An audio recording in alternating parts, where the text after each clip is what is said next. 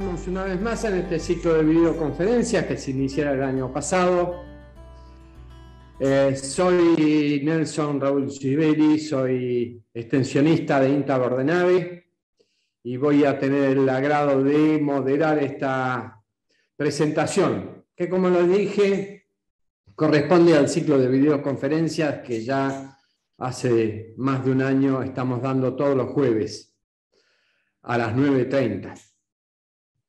En esta ocasión vamos a tener eh, a Aníbal Fernández Mayer, quien es nuestro nutricionista, especialista en nutrición animal, y va a hablar sobre el tema de sorgos, granos, silaje y diferido, lo que viene a ser la segunda parte que se comenzó el mes pasado. Como todos los segundos jueves de cada mes, esta va a ser la última del año de Aníbal, Así que, este, bueno, eh, les digo de que la metodología, como siempre, mm, es una exposición que va a ser Aníbal y luego de ella vamos a dar un espacio para preguntas que, mm, bueno, les pedimos que la hagan por el chat, por escrito, y yo me voy a encargar de transmitírsela a Aníbal. Así que, eh, por otro lado, quiero recordarles de que esta videoconferencia, así como todas las que se han hecho hasta el momento, eh, está siendo grabada y luego va a ser eh, puesta en el canal de YouTube de INTA Bordenave. O sea que para volver a verla, parte o totalmente, lo único que tienen que hacer es ir a YouTube INTA Bordenave y ahí tienen esta y todas las videoconferencias.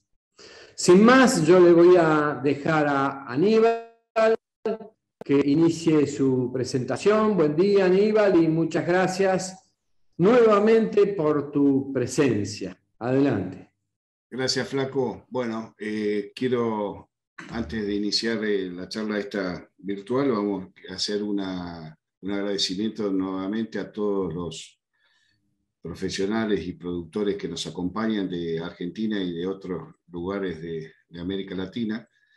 Y, bueno, eh, y volver a, hacer otro comentario que eh, lo habíamos mencionado en, jornadas anteriores, de que en Argentina se usan ciertos términos que a veces no son exactamente los mismos en otros países centroamericanos. Entonces, en la medida que yo pueda hacer una pequeña traducción o, comentarle el, término usado en otros países, lo voy a hacer. Hoy eh, vamos a hacer el abordaje de tres grandes temas, granos, silajes de planta entera y sorgos diferidos. Y en cada uno de los temas vamos a, presentar eh, información que yo creo que va a llamar la atención. Eh, información, algunas es, muy novedosa y otras este, reforzar eh, comentarios que, que, uno viene trabajando durante muchos años. Yo estoy trabajando en el mundo de los sordos desde el año 80, o sea, 42 años. Y, y bueno, vamos a entrar en el tema porque es una, una reunión, como decía Gibeli, eh, vamos a, con dos bloques de preguntas. El primer bloque va a estar en, en, la mitad más o menos de la exposición y, y ese, ese primer bloque de preguntas tiene un tiempo limitado de 15 a 20 minutos. Y el segundo bloque, que es al final, ese no tiene tiempo. Todas las preguntas, todas las que se vayan haciendo por chat, van a ser respondidas. Algunas, este, ojalá que las podamos responder como corresponde y otras, si no tenemos las respuestas, se las vamos a tratar de conseguir. Eh, al mejor estilo de todas las charlas anteriores, yo sé que hay muchísima gente que nos viene siguiendo de, otras reuniones. Eh, yo uso los colores, eh, las flechas con colores y, los, cuando, las cifras, los números, porque en las tablas trato de, no repetir este, valores porque se hace muy, muy tedioso. Y con solo ver los colores verde, rosa y rojo ya están indicando si los valores son buenos, regulares o malos. Vamos a hacer el abordaje ahora entonces de la primera parte, que es grano de sorgos con altos taninos. Y este subrayo el altos taninos porque esto es lo que va a diferenciar del comportamiento de los sorgos con otros granos y, lo, va a diferenciar significativamente hablando con los sorgos blancos. Eh, cuando uno habla de grano de sorgo, siempre, eh, y eso es inevitable, que se, que se haga, que se compare con el grano de maíz. Y ustedes saben cuál es mi, mi, posición. Yo creo que el grano de maíz es espectacular, pero no es el único grano y no es el mejor de todos. Y el grano de sorgo, y ahora vamos a hablar un poquito en detalle y comparándolo con el grano de maíz, eh, el grano de sorgo se comporta tan bien, tan bien respecto al grano de maíz, que hay, tengo trabajos realizados en estos últimos años que prácticamente con grano de sorgo y grano de maíz dan resultados similares. Pero vamos a hacer abordaje más completo.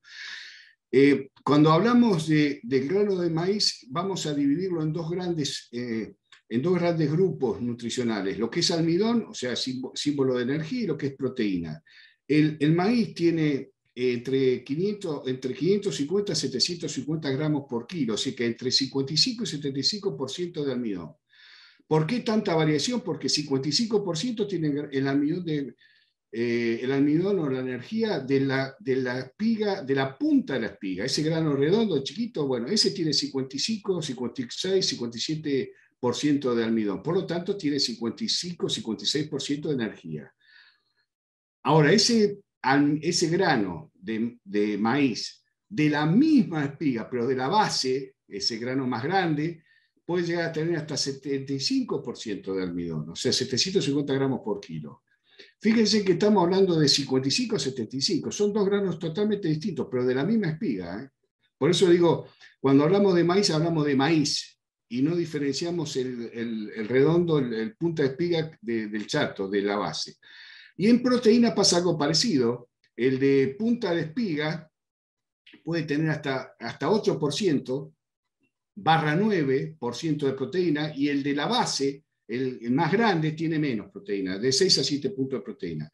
Ahora, ¿qué pasa con el sorgo? Fíjense que el sorgo tiene la misma energía que el maíz, la misma energía, Después el grano chico de sorgo, 55% de almidón y el grano grande, 75%. ¿Eh? Y en la proteína, fíjese que los valores de, proteína de sorgo son mayores que el del maíz. El de grano chico de maíz tiene 12% de proteína y el, y el, grano grande de sorgo tiene 8%. Eh, ahora, cuando hablamos de los dos granos, maíz y sorgo, en la bibliografía, y hoy, hoy todavía se sigue hablando en las universidades de, América Latina, que el maíz es el 10% mejor que el grano de. Y yo, honestamente, cuando uno después de muchos trabajos y de toda esta información que estamos hablando, hoy no sé, honestamente hablando, no sé cuál es la diferencia a favor del maíz. Puede ser el 10, puede ser el 5, puede ser 0. Ahora, siempre hay una diferencia a favor del maíz, siempre, por eso lo quiero remarcar acá. Y aquí simbolizamos dos, el grano de maíz con un triángulo y el grano de sorgo con un, círculo oval, un, oval.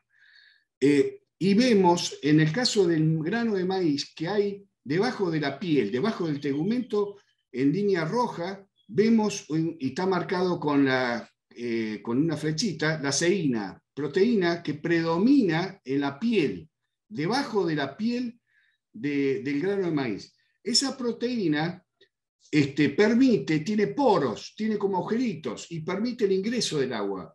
Un ejemplo que eh, incluso lo, hacían los abuelos allá en la década del 60 o del 50, cuando ponían grano de maíz entero a la noche, remojado en agua, para que al otro día los animales lo aprovecharan mejor. Y eso es correcto, eso fue así. ¿Por qué? porque ese grano de maíz que tiene esa capa de ceína, que, tiene agujeritos, perforaciones, permite el ingreso del agua externa y empieza lo que se llama predigestión de los almidones.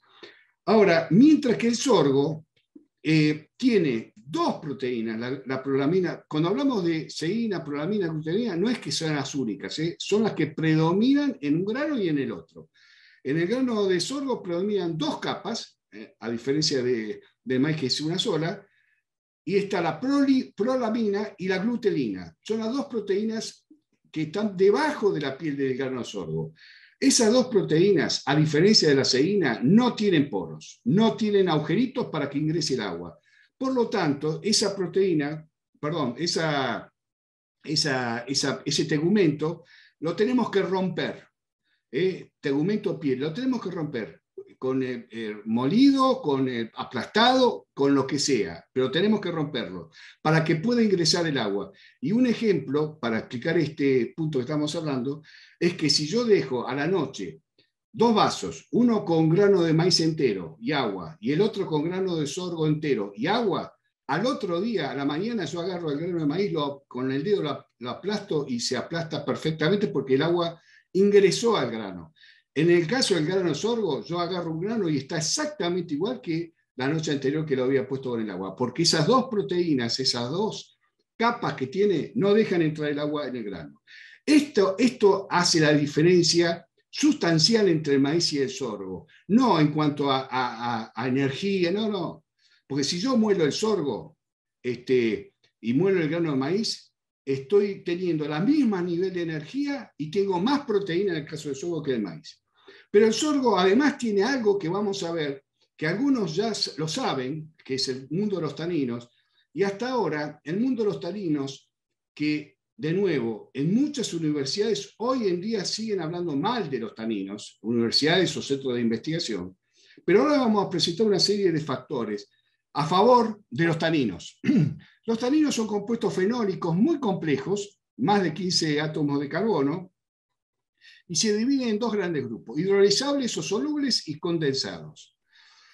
Eh, los efectos positivos y negativos. El efecto negativo, que por culpa de este factor o de este comportamiento está eh, eh, el grano de sorgo con altos taninos, perdió mucha, muchos adeptos.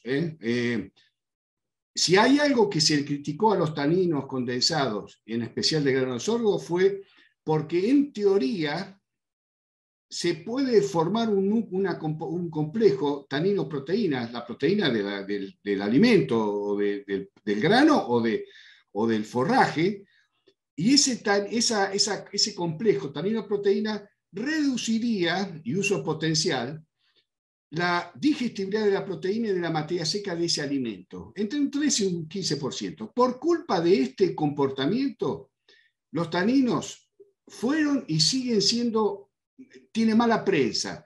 Eh, muchísima gente, profesionales hablo, ¿eh? muchísimos profesionales, incluso docentes universitarios, hablan mal de los taninos condensados por culpa de este complejo. Y que lo quiero, lo quiero explicitar de entrada, porque de ahora en adelante va a haber todos factores positivos. uno de los factores positivos, y esto se descubrió no hace mucho tiempo, no hace mucho tiempo, y yo tuve la suerte de hacer dos posgrados en Centroamérica, que gracias a los taninos reducirían a los protozoarios del rumen. Los protozoarios son unos bichitos, junto con las bacterias ruminales y, los hongos, son, eh, es la población de, que hay en el, rumen de, un vacuno, de un bovino o de un rumiante. Eh, gracias a esa, los que hacen los, los taninos reducen la población de protozoarios. Y al reducir la población de protozoarios, lamentablemente por un factor, problema de tiempo, no puedo profundizarlo más, este punto, pero este, este, tema es más que interesante, pero al reducir la población de los, de los protozoarios del rumen, mejora el aprovechamiento de la fibra del alimento que ese, que ese animal está comiendo, de la fibra de un rollo, de un pasto, de un ensilado, mejora el y, al mejorar el aprovechamiento, mejora el consumo, y por ende mejora la producción de carne o leche. Otro efecto positivo de los taninos, y esto es muy importante y más hoy en día, es que reduce los gases, eh, famosos gases invernaderos que, se generan en el rumen, básicamente metano y óxido nitroso. Hay otros gases también, el dióxido de carbono también es otro gas efecto invernadero. Gracias a los taninos se reduce la, producción de gases de efecto invernadero. Por lo tanto, estamos en un efecto positivo de los taninos. Y además, y esto es un tema muy interesante, Muchas veces y, eh, uno escucha que, que, hay en leche y en carne hay comportamientos productivos inferiores a los que uno quisiera, especialmente comiendo verdeos de invierno, cereales de invierno en, suelos con muy buena eh, fertilidad o fertilizados con nitrógeno, O un caso que a mí me pasó personalmente en el, año 80 con el raigras en Carlos Casares, provincia de Buenos Aires, raigras este, sembrado, cultivado, en un suelo rico en, eh, materia orgánica y fertilizado con nitrógeno. Se, por culpa del amoníaco, en carne o en leche se reduce el primer efecto negativo por culpa del amoníaco, que el amoníaco proviene de la proteína del alimento, de todos los alimentos. Cuanto más tierno es el alimento, alfalfa pura, cereales de invierno, raigrases, mayor producción de amoníaco. Ese amoníaco eh, tiene un efecto, puede tener un efecto muy negativo, afectando la producción y, hasta pudiendo matando un animal. Eh, y a mí me pasó en Carlos Casares hace 42 años, 41 años a lo que quiero llegar, gracias a la amonía, a los taninos, ese amoníaco que siempre se genera en rumen por descomposición de la proteína, eh, los taninos lo rompen al amoníaco y se transforma en nitrógeno gaseoso y el animal lo eruta. Por lo tanto, se reduce los peligros de, intoxicación por amoníaco y mejora la producción de, de carne o de leche. Más efectos positivos, los taninos, y esto es muy interesante, los taninos forman un complejo con esas proteínas que es como si fuera una, una nuez, una nuez, que uno, el tanino sería la cáscara de la nuez, y adentro de la nuez, la pepita, eh, sería la proteína. Proteínas de alto valor biológico que, que del alimento, de cualquier alimento, eh, acá no estamos hablando del, alimento, del grano sorgo, de taninos en general estoy hablando, y, forma el complejo ese tanino-proteína de, los, de los forrajes, de los, de los suplementos proteicos, de cualquier fuente proteica. Gracias a ese complejo, gracias a esa nuez, atraviesa el rumen sin degradarse, sin destruirse la proteína, y llega al estómago verdadero o al intestino delgado, y ahí se abre, se rompe la nuez y libera esa proteína, esa pepita de altísimo valor biológico, la libera para que el animal la pueda aprovechar. Eh, esto es, y ahí puede aprovechar esa proteína haciendo eh, esos aminoácidos de, dietarios, que se llaman aminoácidos del forraje o del alimento, de, alto valor biológico. Y ahí lo podemos aprovechar. Ahora, gracias a, a esto que estamos viendo con tanto detalle, tenemos un efecto, y esto es el punto novedoso. Yo les dije que de cada uno de los temas que vamos a abordar hoy, granos, silaje y, diferidos, voy a presentar algo novedoso. Este es un tema novedoso, pero no que sea de hoy. Los primeros trabajos es del año 2000, 99-2000, de Inglaterra y en Francia. Mini Hart son dos investigadores que han, han puesto al tema taninos en un mundo que hasta, ahora no hasta ese momento no se hablaba. En el mundo, los antiparasitarios químicos comerciales están teniendo una resistencia de los parásitos y están usando cambio de drogas, están usando, elevan las dosis de las drogas, porque lamentablemente esto es un problema mundial. Gracias a los taninos se encontró un efecto positivo y se considera hoy en el mundo de los, de, de los eh, parásitos, los antiparasitarios, como en los mejores antiparasitarios biológicos naturales que existen en, la naturaleza. Gracias a eso, esa proteína que habíamos visto, esa nuez, ¿se acuerdan cuando hablamos de la nuez y llega al intestino y se abre la nuez y libera la, proteína dietaria? Bueno, esa proteína dietaria de altísimo valor, lo que hace, cura a esos tejidos de la piel, de la piel interna de los intestinos, eh, recuerden que en todos los alimentos pasan todos los nutrientes, la, aminoácido, glucosa, todo pasan a la sangre a través de la pared del intestino. Y no pasa exactamente al humano. ¿eh? El humano y, en este caso el, rumiante es exactamente igual.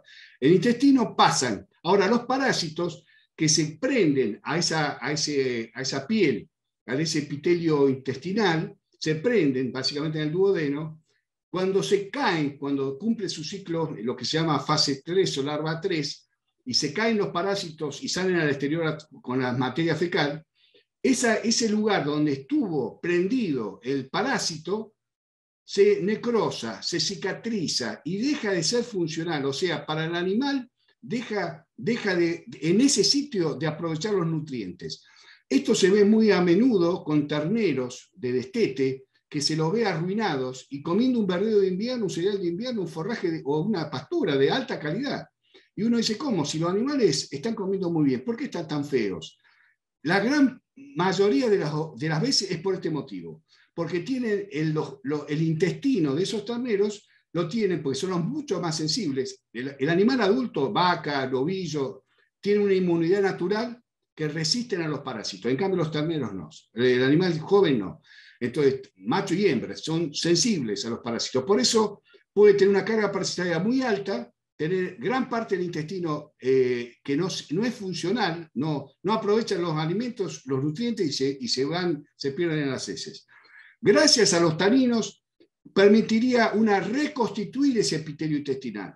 Otro efecto positivísimo de los taninos, y esto fue el descubrimiento de estos dos investigadores eh, ingleses y franceses, de Minijar, de que reducen la postura de huevo hasta el 30% de, de, la postura de huevo de esos parásitos.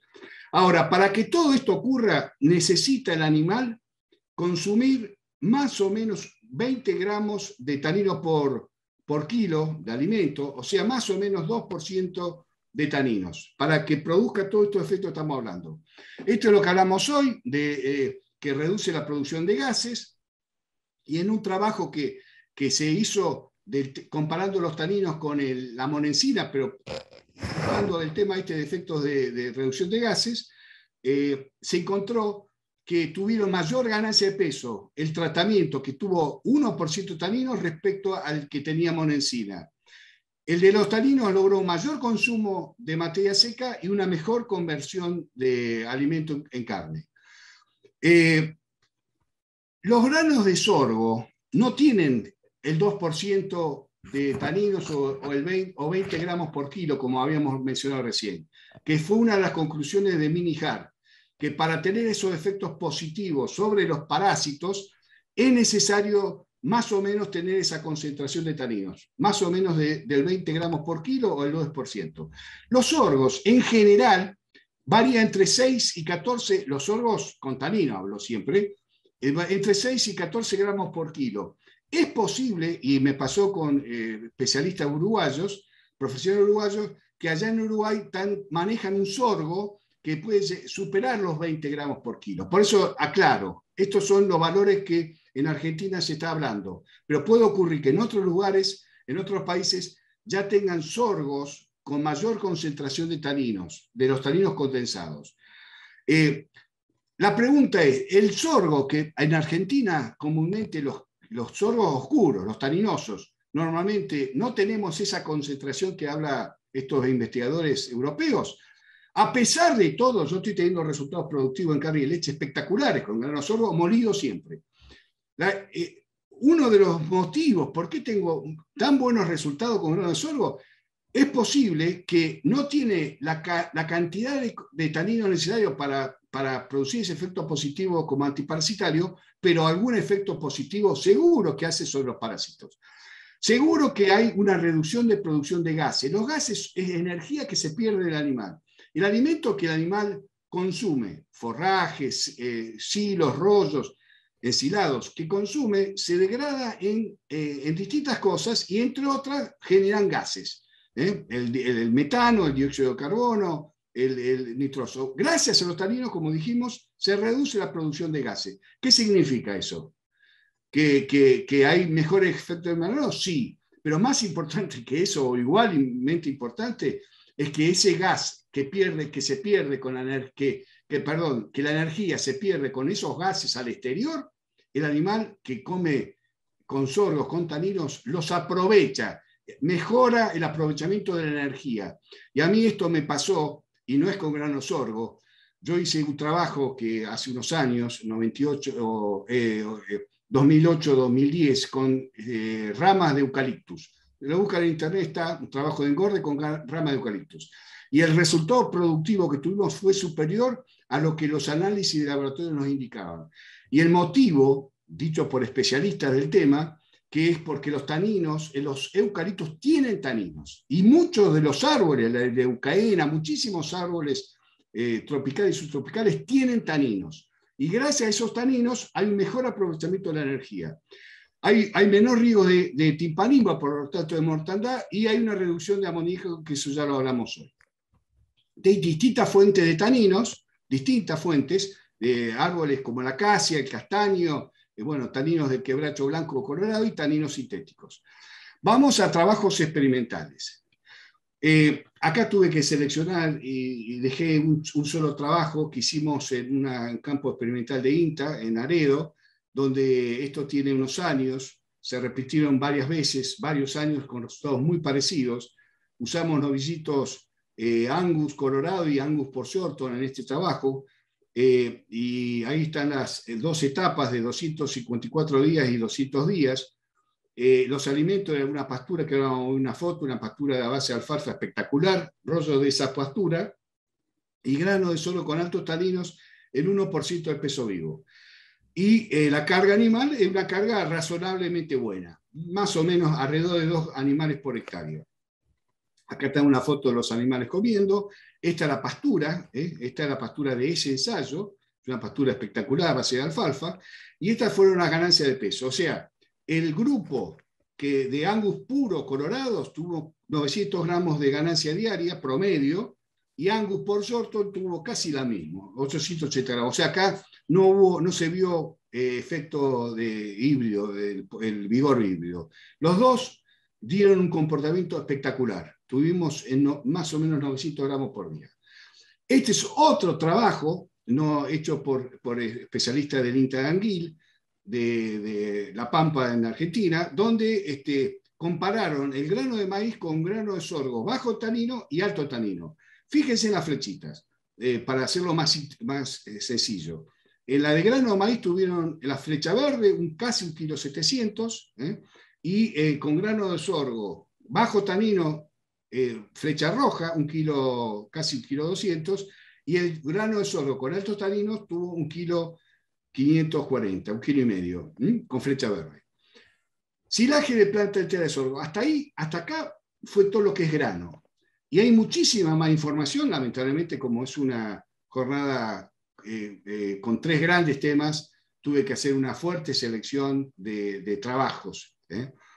Ahora, acá vamos a hacer un abordaje de un tema que para eh, muchos países, de muchos profesionales ganaderos que nos están escuchando o participando en, este, en esta charla virtual, ya lo tiene muchísima información, muchísima experiencia en todo lo que es ensilados, con distintas cosas, con distintos forrajes. Acá vamos a hablar exclusivamente de los ensilados, pero de los del sorgo. Eh, y para eso, como hicimos con el caso del grano de, maíz, de grano de sorgo, que lo comparamos con el grano de maíz, que es un poco es la, competencia que está siempre dando vuelta, en el caso de, silaje hacemos exactamente la misma comparación. Ensilado de maíz y ensilado, ensilado de sorgo granífero.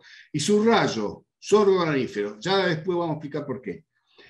¿Siempre es mejor el silaje de maíz con respecto al de sorgo? No y acá eh, todo esto va a traer mucha polémica y es bienvenido. Eh, para eso tenemos estos espacios de preguntas que vamos a tener después. Eh, o sea, es, válido todas las experiencias que pueden tener ustedes. Yo les muestro lo que yo tengo como información de producto de 42 años de profesión. La diferencia entre grano de maíz y grano de sorgo es muy poca o ninguna. Y ya vamos a ver ejemplos. ¿eh? ¿En qué depende la calidad de un silaje de planta entera? Y ahí hablo de la calidad general de un silaje, no de maíz o de soja, en general. Depende de la tecnología aplicada, siembra directa, híbrido, semilla, de, agroquímico, de esa tecnología, no. Hablo de la calidad del silaje, ¿eh? hablo de la calidad. ¿Depende de la tecnología aplicada? No. ¿Depende de la fertilización control químico que haga yo sobre ese cultivo? No. ¿De qué depende la calidad de un ensilado? Depende del estado de la planta, llenado del grano, al momento del picado de cultivo. Y este es punto clave. ¿eh? Y en esto tengo mucha información de 42 años de trabajos. Eh, los ensilados yo puedo tener toda la tecnología de cultivo, cultivos. En el año 2000 hicimos un ensilaje que lo vamos a ver en análisis ahora, espectacular, la altura de grano de maíz.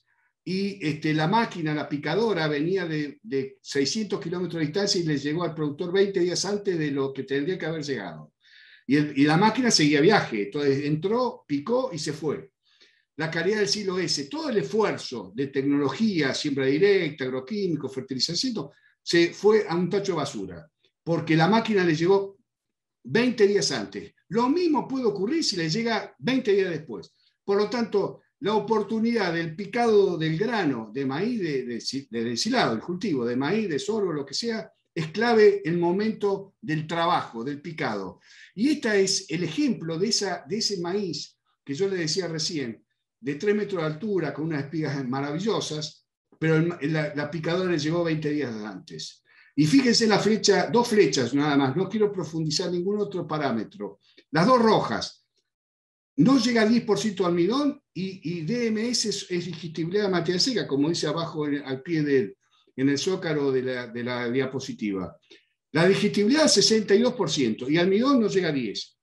Otros granos de sorgo, en, este, en esta estación experimental que tiene INTA acá en Guaminí, en la Chacra de Naredo, de, estuvo 73 casi de digestibilidad, compárenlo con el maíz, ¿eh? estamos hablando de la misma zona, no es que el, el, silo, el maíz se había hecho en un lugar y, no, no, estamos hablando de la distancia entre un campo y otro son, no llegan a, a 60 kilómetros.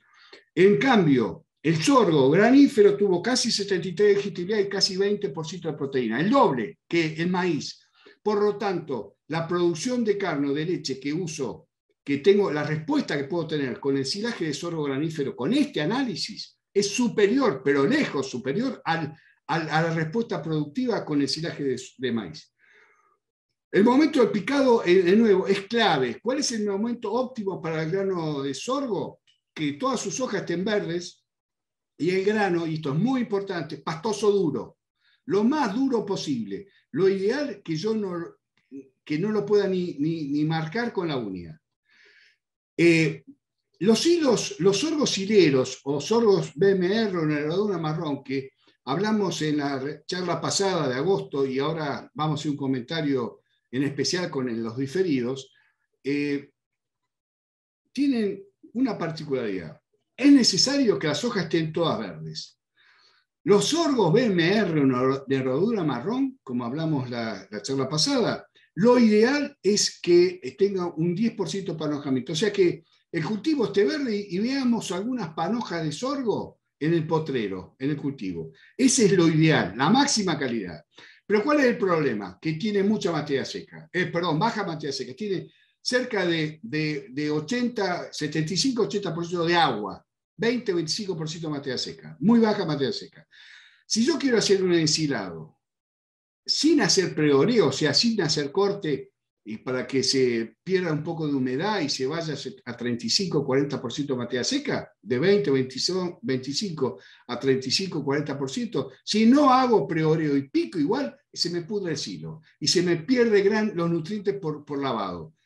Por eso, si yo no puedo hacer preoreo, el es como si yo haría un, rollo de ese, de ese forraje, de ese sorgo BMR. Ahora, ¿cuál es el problema? Que hay lugares que la producción de forraje es tan alta del sorgo BMR que si yo tengo que cortar y dejarlo eh, en el potrero un par de horas, tengo que tener cuidado que no me llueva y tengo que dar vuelta a la, la andana porque son grandes volúmenes, se complica. Y la picadora, y acá es clave, la picadora tiene que tener recolector para poder picar la andana como si me pondría una máquina para hacer fardo o rollos. Entonces, e, esta tarea normalmente no se hace. Por eso yo no aconsejo a los sorgos BMR para ensilado. Y lamentablemente por un problema de tiempo no puedo profundizar un trabajo que, hoy vamos a hacer una cosa muy ligera, pero, pero es un tema muy interesante. Lo normal cuando uno tiene un, sorgo BMR eh, sembrado y quiere, quiere picarlo para ser ensilado, lo tiene que dejar que forme grano pastoso duro. ¿Cuál es el problema? Que la calidad que tenía cuando estaba con comienzo de panojamiento a cuando está con grano duro no tiene absolutamente nada que ver. Son dos calidades totalmente distintas. Pero no tengo muchas alternativas. Y los sorgos hileros que se están difundiendo mucho en toda América, hay que esperarlo con hoja verde, con grano pastoso duro. Ahora vamos a hacer un comentario rápido de condiciones de manejo de, los cultivos. Eh, acá estamos viendo un sorgo BMR, por ejemplo, están picando en Sierra de la Ventana, sudoeste de bonaerense. Eh, el picado, ahora con las máquinas modernas se hacen en dos o tres días como máximo. El picado eh, nunca puede estar más de siete días.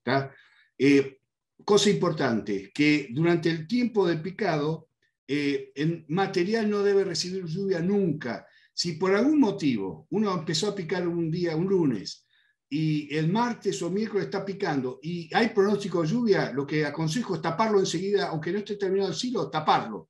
Que el agua de la lluvia no atraviese el ensilado, porque ahí vamos a tener grandísimas pérdidas y peligros futuros de hongos. Este es un tema, yo hoy les había mencionado al comienzo de toda esta charla que teníamos tres grandes temas, tres grandes grano, silo y eh, diferidos, y de cada tema íbamos a presentar una información novedosa para algunos, para otros no tanto, eh, pero que sí va a marcar mucho el futuro, de ahora para adelante. acabamos de ver en los, en los, granos el tema taninos, el tema básicamente con el tema antiparasitario, con el tema de aprovechamiento mayor de la energía y con mayor producción de carne de leche. Ahora en ensilado vamos a hablar de un tema que yo creo que va a traer mucho, va, se va a hablar mucho. Eh, no sé si para bien o para mal, pero se va a hablar mucho. Las máquinas modernas, las de ultra picado, esas automotrices, máquinas extremadamente caras, que se están, están desarrollando y, en, en, toda América Latina. Hay lugares que, como Argentina, Uruguay, eh, Chile, Paraguay, están trabajando, Brasil, están, la mayoría de las máquinas son de ese tipo, automotrices, con una gran capacidad de trabajo, trabajan las 24 horas, tienen equipos rotativos de personal, realmente son monstruos trabajando. Y, el contratista, eh, quiero, no quiero lesionar ninguna, ninguna persona, pero a ninguna eh, ningún interés, pero digo, el contratista lo que le interesa es picar y irse a otro campo. Por eso trabajan las 24 horas. Algunos, a otros trabajarán 15 horas. Pero el objetivo del contratista es picar más hectáreas para cubrir todos los costos que tienen. Y es algo razonable. Justamente en el picado A, nos dice silaje de maíz ultrapicado, que gran parte del material está por debajo de un centímetro y medio de largo, ¿eh? uno lo ve y parece espectacular. Entonces, ese picado es el que hacen estas máquinas de ultra picado, estas, lo que le llaman también de doble picado, bueno, estas máquinas que son realmente monstruosas eh, como equipo. Con él, gracias a ese picado, las máquinas eh, compactan más rápido, tapan y se van a otro campo. La pregunta es, ahí tenemos el picado B de un kilo también, pero fíjense en el tamaño del picado, que es esa es una máquina de, máquinas más sencillas, más económicas, de ciclos eh, intermedios, simples se llaman, que tienen mucho del material, está por arriba de dos, es mayor de dos centímetros de largo.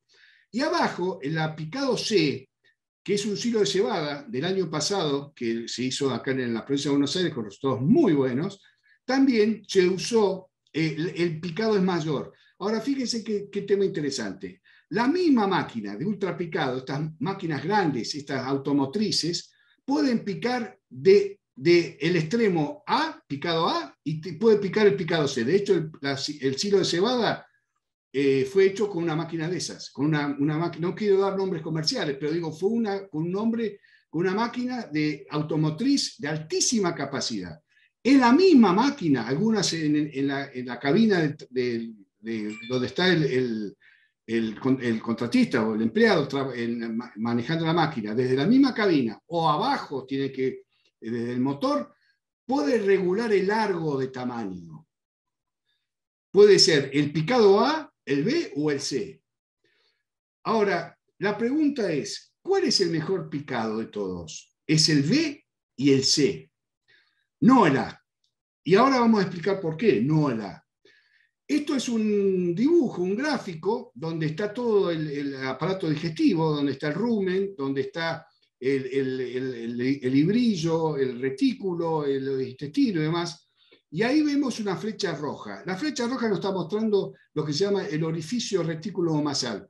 Es la comunicación, una especie de agujerito que hay entre, eh, que ahora vamos a ver en, tamaño, entre el rumen y el retículo.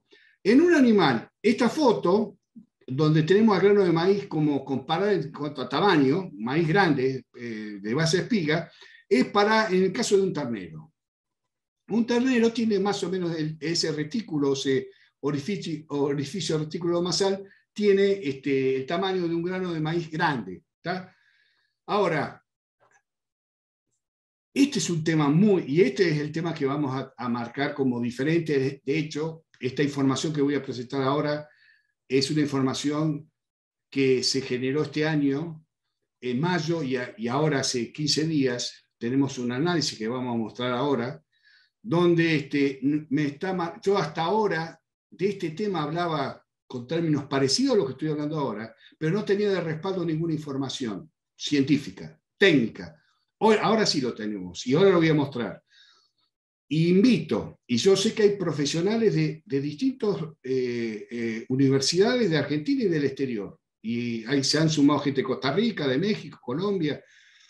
Invito a cualquier profesional que le interese tomar este tema que vamos a hablar ahora para algún trabajo de tesis, de maestría o de doctorado, que se comuniquen conmigo, después vamos a ver un correo electrónico, porque me interesa profundizarlo esto. Lamentablemente yo no puedo hacerlo hoy por varios motivos. Por eso los invito, si hay alguien que le interese profundizar lo que vamos a presentar ahora, es una información novedosa en el mundo, por lo tanto, hasta puede ser una tesis doctoral. Se pierden muchos nutrientes en las heces, en las bostas, en la, materia fecal. Cuando el cultivo se lo, se lo picó muy corto, propio de lo que vimos en el caso del picado A, sí. Hasta ahí yo manejaba, esta, manejaba este, este, este mensaje. Lo que no tenía de respaldo información, que ahora la tengo. Esto es un trabajo eh, vaca lecheras, 38 litros de vaca por vaca ordeño día. Esto es de dos, eh, se hicieron en dos, voy a mostrar uno de los dos trabajos. Los dos fueron tambos de alta producción, el otro fue de 40 litros. Los dos fueron de la provincia de Córdoba. Estoy hablando del año actual, 2021 donde ahí, ahí figuran la, dieta, la composición de la dieta, eh, con silo de maíz, criticales, bueno, otros concentrados. No voy a entrar en detalle. Ahí está todo. Eh, una cosa que no, les mencioné hasta ahora, pero los, los, los, productores, los profesionales que me siguen saben que se le va a entregar, eh, posterior a esta charla de hoy, mañana, pasado, en estos días, se le va a entregar una publicación. Hay una publicación de todo esto que estamos hablando de cerca de, de 100 páginas. Eh, en particular, en esa publicación, esta tabla no la pudimos colocar. Entonces, si alguien puede sacar alguna foto, alguna captura de pantalla o eh, ver después el video, pueden ver en detalle. Yo no voy a entrar en números, no voy a entrar en ningún detalle. Solamente lo que quiero mostrar es que figura eh, lo que se llama dieta TMR, que eh, es la composición química de todo ese alimento, de esa mezcla. Miren, un montón de cosas que tienen estas vacas lecheras de alta producción, que están comiendo este, más o menos 23 kilos y medio de matea seca, con esta concentración de matea seca, proteína, energía, bueno, todos los factores. Acá lo interesante, y de nuevo se hizo en el tambo, eh, eh, en el análisis de, mayo de este año 2021, y ahora esta información de hace 15 días, menos de 15 días, donde, donde en otro tambo de la provincia de Córdoba, con esta producción de leche, se analizaron, en los dos casos se analizaron la composición de la dieta y se analizó las heces, la materia fecal, la bosta. Este análisis no se hace nunca, o casi nunca. Yo honestamente eh, he hecho análisis de heces, de bostas, pero parcial, básicamente mirando el tema de almidones, nada más. Esta es la primera vez que yo tengo acceso a un análisis completo, y acá reduje, no puse todos los parámetros químicos, puse lo más importante. Puse en las heces cuántas pérdidas de materia seca tenemos, que es más o menos el 30%, fíjese la flecha roja, en, la en las heces, la pérdida de proteína, proteína del alimento, ¿eh? más o menos el 30%, ¿eh? ahí, ahí están los valores, hagan después todos los cálculos. Eh, lo que está en color rosa es la concentración de, de materia seca de las heces, la concentración de proteína. Fíjense que la proteína de la dieta fue 16%, y la proteína, la concentración de proteína de las heces, de la bosta, también 16%. Eh, el almidón, fíjense que el, promedio del alimento, del almidón de la dieta fue de una concentración del 12%, o sea, casi 3 kilos de almidón por vaca y por día. En las heces eh, se perdió, se perdió el 12% del almidón consumido por ese animal, por esa vaca lechera, se perdió en las heces. Eh, con respecto a la fibra, eh, FDN y FDA, ahí abajo dicen, están diciendo qué significa eso, esas siglas, pero se perdieron entre 45 y 40, 45% del total. En síntesis, más del 30% la materia seca de la proteína y de la fibra y más del 12% de la energía vía almidón se pueden perder en las heces, en las bostas, por culpa del tamaño del picado. La pregunta que yo hoy les dije, que si hay algún profesional interesado eh, en profundizar todo este mundo que estamos presentando ahora por primera vez, eh, a través de un trabajo de tesis, de posgrado, de maestría o, de doctorado, lo que habría que hacer es analizar distintos tipos, no de picado, ahora hay que analizar de distintas dietas, porque acá lo que hablamos de de esta vaca lechera no es eh, el picado del maíz, sino estamos hablando de una dieta donde hay ensilado, hay concentrados, hay, hay aditivos, y que gran parte de los alimentos que integran la dieta terminaron las heces. Más o menos, como estamos viendo acá, entre, 3, entre 2 y 30% del total de, esa, de esos nutrientes, de esa riqueza de esos alimentos, se perdieron las heces. Eh, eso es dólares que se están perdiendo en las heces y no se transforman en, carne ni en leche. Eh, al punto este lo dejo acá, porque esto merece una mayor discusión, pero los invito de nuevo, a aquellos que les interese profundizar este mundo, es un mundo apasionante, porque acá lo que estamos mirando no es mejorar la producción de carne o leche, sino es reducir las pérdidas. Y reducir las pérdidas significa mejorar el resultado económico. Si yo puedo armar una dieta de alguna forma que, me, que siempre voy a tener pérdida de nutrientes, siempre, siempre, ¿eh? de proteína, de, fibra, de almidones, siempre. Pero el objetivo cuál es? Es lograr la mejor combinación de la dieta, la mejor presentación de la dieta, que tenga las menores pérdidas posibles en las heces. Seguimos. Esta es una foto para, para rematarla directamente de todo lo que estamos hablando. Esta es una foto de heces de vacunos que están con, ensilado ultra picado. Acá la foto está magnificada para que se pueda apreciar la fibra, ahí se le ve una fibra. ¿Se acuerdan que habíamos dicho 45% de fibra que se pierden las heces? O sea, la mitad, casi la mitad de la fibra, vía rollo, vía ensilado, que comen ese, ese, ese animal, vaca lechero o animal de carne, la, casi la mitad se pierden las heces. ¿Cuántos dólares estoy perdiendo ahí? Ese es un tema que hay que trabajarlo. Eh, el, tamaño óptimo de picado de 20 a 30 centímetros para la máxima aprovechamiento de la fibra, degradación, yo no voy a entrar en detalle de todo esto, porque hay mucha información que ya se conoce. Cuando el picado es inferior a 20 centímetros, lo que acabamos de ver, se reduce el aprovechamiento de esa fibra y gran parte de esa fibra, como acabamos de, esto es una especie de resumen de lo que acabamos de ver, se pierde en las heces.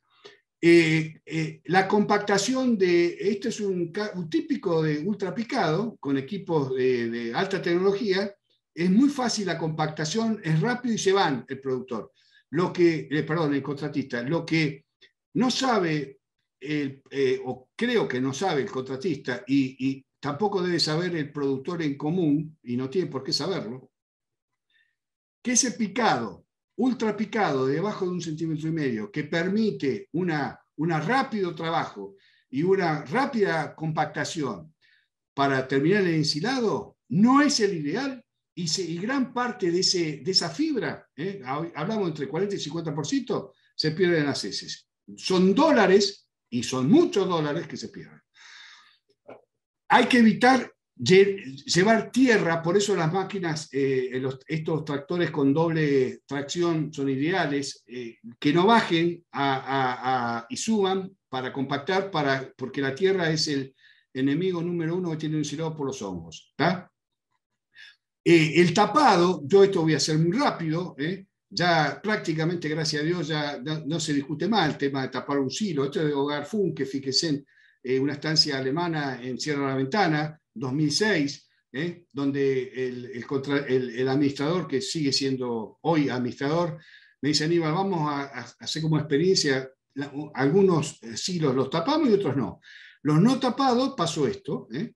que tuvieron hongos a los 15 días de haberse terminado con 20 milímetros de lluvia, ya desarrollaron hongos, y pasó esto en Coronel Suárez, también sudoeste bonaerense, en otro tambo, el, que acabamos de ver es un capo de carne, este de leche, que eh, en el 2005, fíjense en la fecha abajo, no el productor, por un motivo u otro, no, lo taparon y eh, se perdió entre el 25 y 40% del total del ensilado.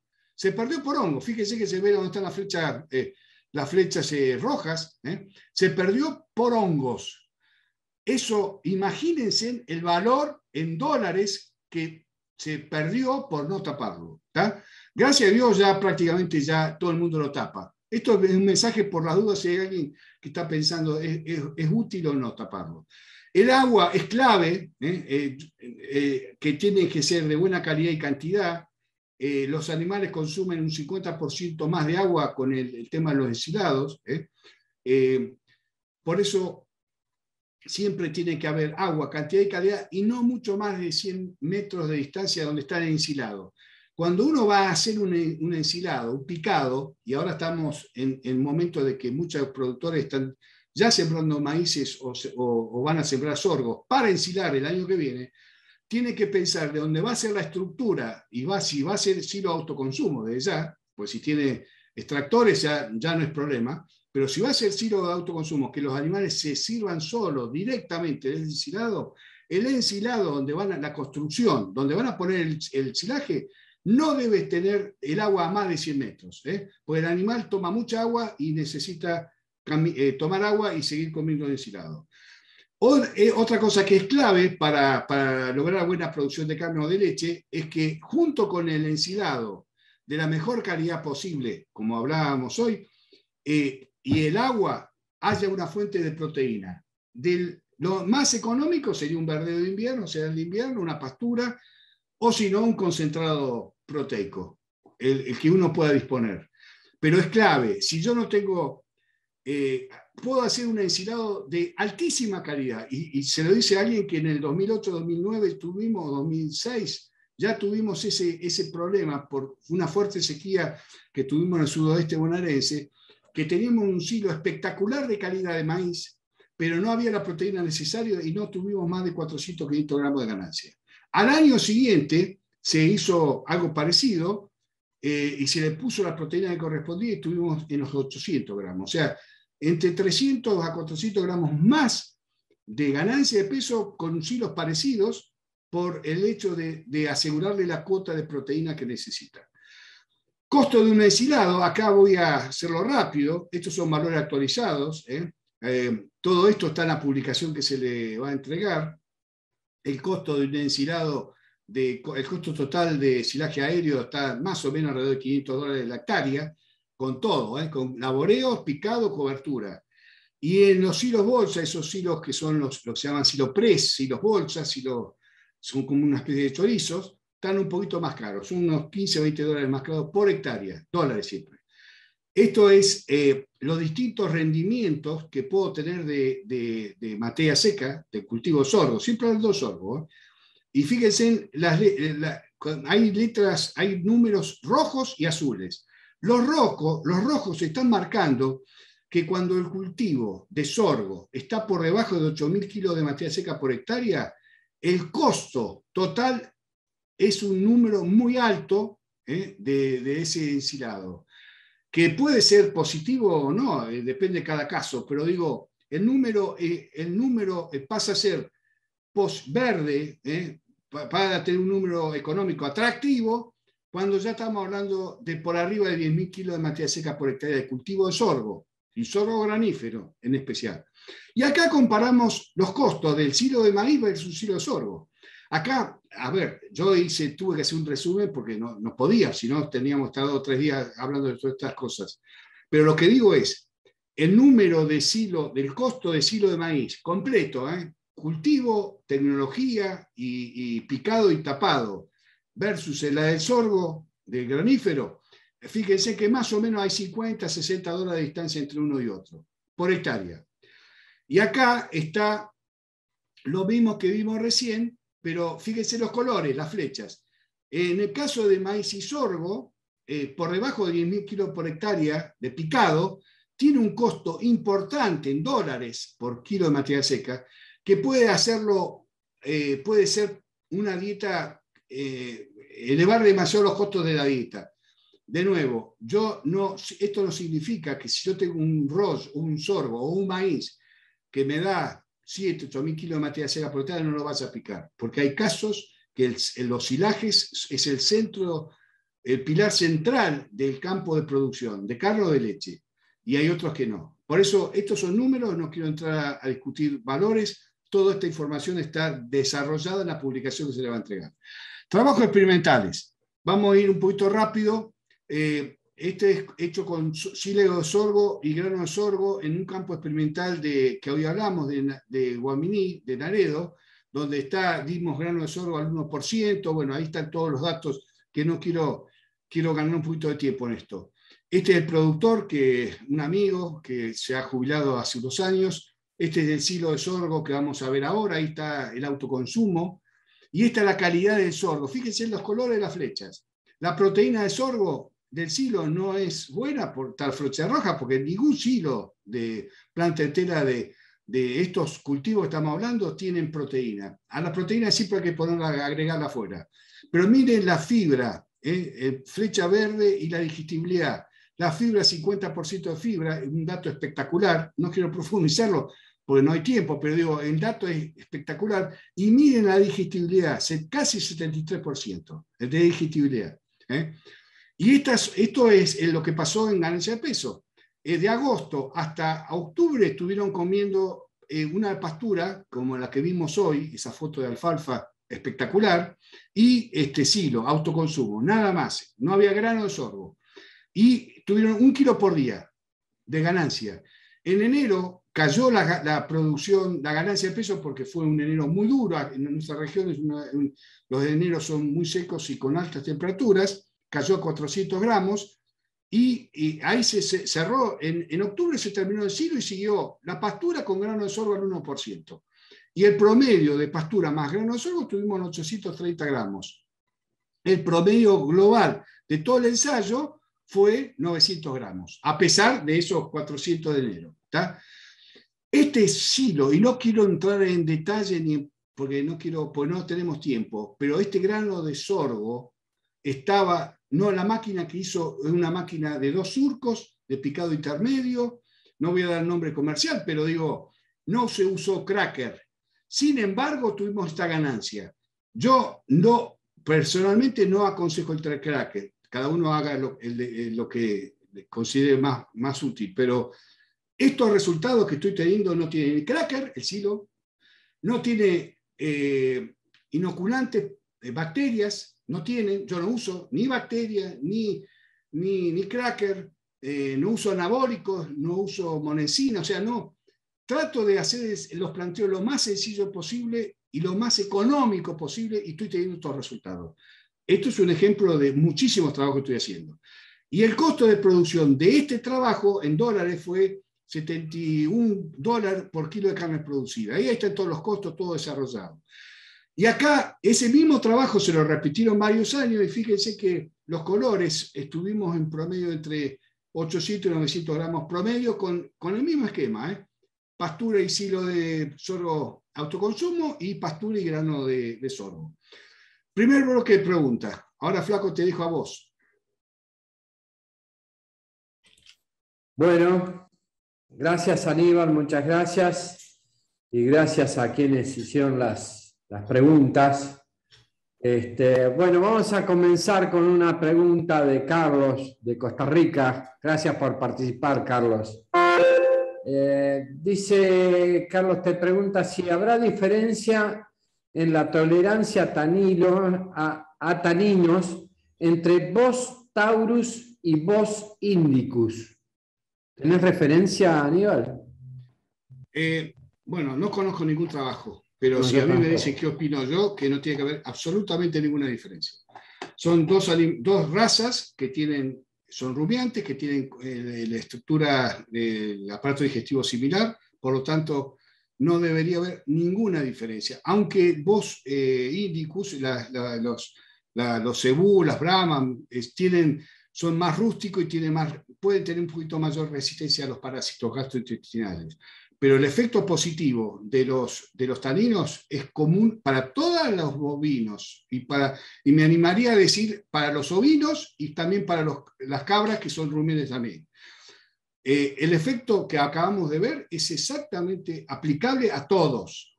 En algún caso puede ser, por ejemplo, yo tengo trabajo con búfalos, los búfalos son más resistentes a los parásitos, eh, pueden ser pueden sufrir menos el, ataque de los parásitos, pero que el efecto positivo de los taninos que acabamos hoy de, ver es común para todos los rumiantes.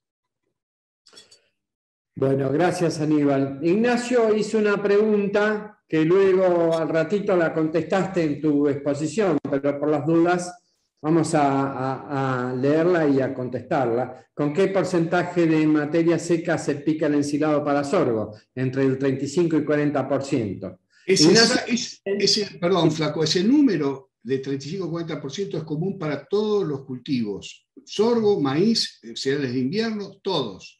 Por eso digo, eh, yo no quise profundizar porque la, la, charla de silaje la vimos el año pasado, está en YouTube, en el canal que vos de Inta Bordenave, alguno que no la pudo, no pudo participar, que la vea, ahí está todo en detalle, todo profundo, pero es entre 35 y 40% es la materia seca ideal. Bueno, después hacer otra preguntita, pero vamos a de Rico Delgado, eh, que es un campo que está cerca de, de cerca entre Pigüé y Goyena. Eh, nosotros dejamos el maíz y sorgo diferido para alimentar como planta en pie a la vaca preñada durante el invierno. En ese caso no se puede moler el sorgo, entonces no sería conveniente esta práctica para el sorgo. Es un comentario que hace Ricardo. Bueno, no, el tema es así. El diferido vamos a ver a continuación. Eh, eh, lo que sí me, gustaría hacer un comentario de esta, de esta pregunta, eh, debe ser Ricardo Delgado, el productor que nos sigue, nos sigue en todas las charlas. el, el sorgo granífero diferido en planta para el otoño-invierno o el maíz diferido en planta con, con grano ¿eh? para otoño-invierno es una tecnología muy interesante, pero tiene sus problemas. Por ejemplo, ninguno de los dos cultivos tiene proteína. Si yo no le aseguro, y ahora hablo de cualquier categoría, la vaca es la que menos proteína requiere. Por ejemplo, para dar un número, una vaca ya en otoño o invierno que está preñada, en avanzado estado de preñez, necesita 10, 11 puntos de proteína en la comida total. Los sorgos diferidos, graníferos, y los maíces diferidos no tienen más de 6, 7 puntos de proteína. Por lo tanto, hay 3, 4 puntos de proteína que esa vaca ¿eh? preñada no consume, y si no se lo doy con un forraje de invierno, con un concentrado proteico, lo que sea, me está consumiendo eh, tejidos internos de esa vaca que me va a afectar al, al ternero que tiene la panza. Si es no voy a entrar en detalle porque eso en la charla del año pasado de restricción nutricional lo profundizamos muchísimo ese punto. Por eso digo, no estoy en contra de la práctica de, dejar un maíz diferido eh, con grano al otoño-invierno o un sorgo diferido con grano al otoño-invierno. No estoy en contra de la práctica. Sí estoy en contra si no se le da la proteína que corresponde a, ese, a esa vaca o a ese... Y desde ya, si voy a un ovillo, una vaquillona o un ternero, los requerimientos de proteína son muchísimo más graves. Si no lo cumplo con esa, con esa cuota de proteína, después me va a pasar, me va a pasar este, la factura, la próxima preñez, el próximo servicio, todos los efectos que, que no lo puedo desarrollar por un problema de tiempo, pero está sí en esa charla del año pasado de restricción nutricional. Lo que vamos a ver después va a ser muy ruidoso, así como hablamos hoy de tanino y hablamos del tema del tamaño de picado, lo de chorros diferidos, BMR, va a ser muy ruidoso, muy interesante, pero eso lo dejamos para después. Aníbal, ¿me permitís hacer un aporte con respecto a lo que recién dijiste de los diferidos? Dale, dale, flaco, por favor. Eh, eh, esto, ah, dos cositas cortitas. Eh, por ahí esto del contenido de proteína puede ser suavizado cuando hay verde por debajo del, cultivo que está diferido. es una práctica bastante común y creo que en el caso del establecimiento Ricardo se ha hecho de, sembrar avena al boleo que aporta un cierto grado de proteína este, que le falta a ese cultivo. Y además de eso, este, hay trabajos ya que tienen su tiempo en Inta Bordenave, de Sebastián Lagrange y equipo, que este, hacen el, seguimiento de las vacas eh, pastoreando diferidos, teniendo en cuenta el estado corporal a la entrada y a la salida. Entonces, manejando el estado corporal de la vaca a la entrada y a la salida, se pueden mejorar los resultados. Sí, yo, eh, a ver, el primer comentario tuyo me parece espectacular, eh, sembrar al voleo o como se hacía antes, en la, cuando se escardillaba o se aporcaba los, los maíces y los sorgos allá en la década de 60, 70, se le aprovechaba y se tiraba al vuelo eh, avena, avena cosechada en diciembre, para, para que naciera en febrero. Eso, el resultado es espectacular. Si yo lo, tengo, lo puedo hacer con una fertilizadora, eh, para desparramar la, avena de nuevo cosechada en diciembre o noviembre-diciembre, el resultado es espectacular, porque ahí tengo una proteína de altísima calidad de esa avena y combino el grano de maíz o de sorgo y la fibra de ese, de ese cultivo. Eso seguro que lo suscribo. El otro tema eh, da para hablar, para profundizarlo. Yo, yo no, no tengo tiempo para hacerlo ahora.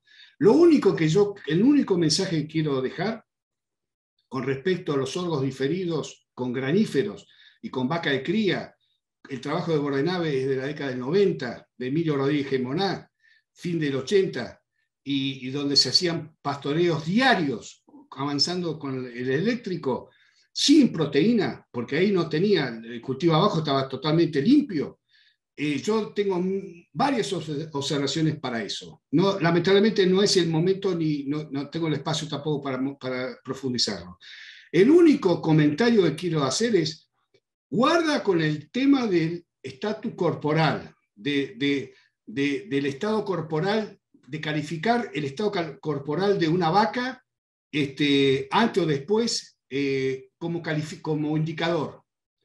Primero, Estamos hablando de una vaca preñada. Los últimos 45 o 50 días de, la preñez, previo al parto, el ternero crece el 70 a 75% del total. Por lo tanto, ese ternero me ocupa un espacio en, el animal que me confunde el estado corporal. No puedo calificar antes cuando entró con una preñez de 3, 4 meses a, calificarlo después cuando la preñez estaba pronto a parir. Por lo tanto, esa, esa imagen visual no es correcta. Y lo, discuto con cualquiera, no es correcta. Lo que tiene, y tampoco es correcto medir la, ganancia de peso de esa vaca preñada, porque el efecto del desarrollo del ternero y del líquido amniótico me confunde la ganancia de peso. Ahora, si es una vaca vacía, de engorde, es otra cosa. Ahí puedo medir la ganancia de peso. Pero bueno, lamentablemente, Flaco, no, ya estamos en el tiempo que le asignamos a este espacio. No sé si, si vos tenés alguna pregunta cortita, la vemos y si lo dejamos para el final. Mira, si te animás a, responder cortito y al pie, sacamos tres preguntitas que tenemos. Dale. En ensilaje de sorgo o maíz, de parte de Ignacio, este, ¿utilizás inoculantes bacterianos para bajar el pH? Y si lo usás, ¿en qué situaciones? Cortito, ¿eh? No, ya lo dije, no lo uso. Y no quiero entrar a pelearme con nadie. No, no, no, pará, pará. Por eso, no lo uso. ¿De qué dólar estás hablando? Pregunta Raúl Fite. Si es el oficial o el otro. el dólar que se trabaja en el campo.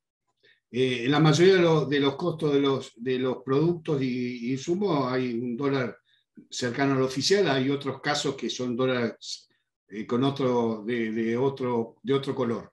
Pero, a ver, eh, yo cuando hablo de dólares, el dólar normalmente que trabaja el productor. Porque estos trabajos se hicieron en un momento que no había dos o tres dólares en Argentina.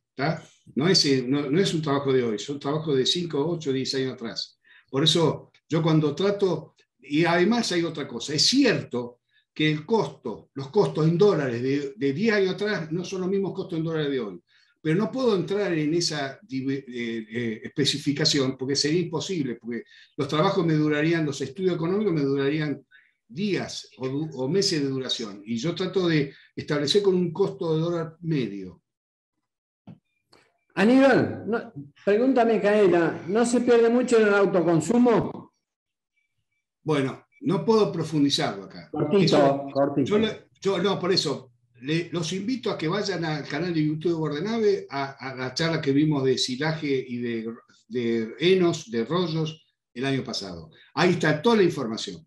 Un ensilado, autoconsumo, bien manejado, se pierde menos del 20% del material se pierde el 40 o 50 con el tema del picado que hoy vimos ¿eh? en las bostas. Eh, eso se pierde más del doble de lo que se pierde con un campo manejando bien el, auto, el autoconsumo. Bueno, ya, ya terminamos. uno, este, ya está. Erna, dice, ¿qué pasa si por algún motivo las vacas arrancan a parir en el diferido sin proteína? Bueno, yo ya comentaste que es un problema. Este, y después... es, un tema, es un tema que no, eh, eh, de nuevo, vayan a esa, a esa charla virtual del año pasado de restricción de introducción. Ahí está con toda la información y con números. Bien, ¿por qué no recomendás el cracker? La última pregunta. Ah, bueno, eh, vos me pediste cortito. El cracker tiene un costo de, de 10-15% más el costo del picado. Los trabajos que yo tengo en, leche, eh, perdón, con maíz, con silo de maíz y con silo de sorgo, que no uso cracker, este, son los que acabamos de ver. Tengo trabajo de más de un kilo por día, sin cracker, sin inoculante, sin nada raro. De nuevo, la clave de esto es hacer un buen cultivo y el, momento del picado, eso es clave. Más allá de todo lo, que... Si yo hago un buen cultivo y la máquina me pica en el momento que corresponde, la calidad del silado es máxima. Y el resultado productivo en carne y leche, si lo acompaño con proteína y con, alguna, con algún almidón que quiera agregarle, es máximo en carne y en leche. Bueno, yo no sé ustedes, pero a mí me está gustando mucho esta, esta, esta exposición, este intercambio que está viendo. Así que les pido un esfuercito más para, para llegar hasta el final Empezamos con el segundo bloque este, y, ah, quedaron algunos otros aportecitos, no muchos, que los vamos a abordar en la segunda parte de preguntas. Así que Aníbal, te doy pie para que comiences eh, a dar tu segunda parte. Bueno, eh, cuando hablamos de sorgo, BMR o nervadura marrón diferidos. Los nervadura marrón es, lo hablamos en, la charla pasada, aquellos que no pudieron participar en la charla de, de soros forrajeros, está en el canal de YouTube, lo pueden revisar, ahí está todo el desarrollo. Yo no voy a entrar a desarrollar las características de los sorgos BMR o nervadura marrón y con respecto a los sorgos tradicionales. Lo que vamos a ver ahora, yo les dije hoy que había tres temas con tres puntos fuertes de mensaje. Este es el tercero tema y el tercer tema fuerte. Los sorgo BMR diferidos. Lo que vamos a ver ahora es exclusivo si yo uso un sorgo BMR diferido. Si yo uso un sorgo forrajero común, comercial, de buena calidad, pero que no sea BMR, no voy a tener el resultado que vamos a ver de ahora en adelante. Este sorgo, los sorgos BMR diferidos, es dejarlo seco para el otoño-invierno. Esto lo aclaro porque en Centroamérica no saben lo que significa la palabra diferido. Eh, es más, se usan lo que, dicen heno en pie. Heno en pie, dejarlo seco a otoño-invierno. Eh, eh, el, tema es lo mismo. Diferido o heno en pie es exactamente lo mismo. Estamos hablando de sorgos BMR. También es cierto que en Argentina y para el resto de América Latina, donde hay muchísima gente que está participando en este evento, eh, donde tenemos lluvias por arriba de 800, 900 milímetros, hablar de un sorgo BMR diferido eh, tiene un, un, rol distinto a cuando estamos en la zona donde nosotros nos estamos moviendo, que está entre 350 y 600, 700 milímetros de lluvia anuales. Ahí, y con inviernos secos y muy fríos. En esa realidad, en ese contexto agroecológico, el rol de los sorgo BMR diferidos con, para la recría y su rayo recría, ¿eh? para los terrenos de destete, es clave y eso es lo que vamos a ver ahora. Esto es una foto de un sorgo BMR. Acá este, eh, voy a hacer un comentario rápido, pero eh, acá tuve que simplificarlo mucho, porque esta es una charla más amplia y fue parte de una tesis de posgrado, de comparamos las calidades y los costos del sorgo BMR diferido, que es el de la foto de la izquierda, y el de la derecha es de un sorgo BMR picado. Y acá, este es un ensayo que se hizo en sudoeste bonaerense, en Cabildo, eh, cerca de Bahía Blanca, para ubicarlo a los, a los que conocen, eh, que están en la región pampeana. Ahí está la característica de los dos ensayos. Se usaron dos materiales distintos de BMR puros, el Nutriptop y el Parasilo, y se lo, a la mitad del potrero se lo ensiló y la otra mitad se lo dejó tal cual, diferido para otoño-invierno. Y, y, se lo, y en junio del año siguiente, o mejor dicho, de ese año, se, este, se, sacó una muestra para analizar. Y fíjense, miren los colores de flecha nomás. ¿eh? Eh, el silaje eh, primero, Nutritop, tuvo 64 de digestibilidad, el diferido Nutritop tuvo 65 y medio, flecha verde, el otro, el silaje de Parasilo, que de otra empresa, tuvo 60 de digestibilidad el silaje, y el diferido de ese mismo Parasilo, en la marca comercial, tuvo 62, flecha verde. Uno diría, hay poca diferencia. Sí, yo le diría que no hay diferencia. No, no, acá no estoy, los colores de la flecha no es flecha roja, flecha rosada. Los, colores de la flecha lo que están indicando que la calidad de los sorgos, de los ensilados de sorgos BMR tienen la misma calidad que dejar diferido ese mismo sorgo. ¿Cuál es la diferencia entre uno y otro? Que hay un costo de picado que va a favor de los diferidos, pero hay en contra de los diferidos de que yo tengo que dejar el potrero 6, 7 meses parado con el sorgo ese seco. Eh, tiene sus pros y sus contras. De nuevo, esto no es un mensaje para, para todos los productores que están, o, profesionales que no están este, eh, participando en este evento. Es para algunas regiones del país, de Argentina o de otros lugares, de Uruguay, de otros países que, tienen, eh, que pueden llegar a, evaluar esta alternativa de dejarlo diferido. La diferencia, estos son todos costos, está todo desarrollado en la publicación. Acá tuve que simplificar las tablas, ¿no? pero el costo de hoy, hoy, hoy, valores de, 2021 de un silaje de sorgo planta entera son de 320 dólares la hectárea, más o menos, aproximado. En cambio, el sorgo diferido son 100 dólares, que es el cultivo, la implantación. La diferencia de los 220 dólares de uno y otro es debido al picado y la cobertura. Ah. Las pérdidas le puse 20% y 35% porque tiene el auto, el diferido o en un pie, como figura ahí, tiene más pérdidas, ¿eh? más pérdidas por el, que, que, el, que el ensilado. Y abajo están los costos.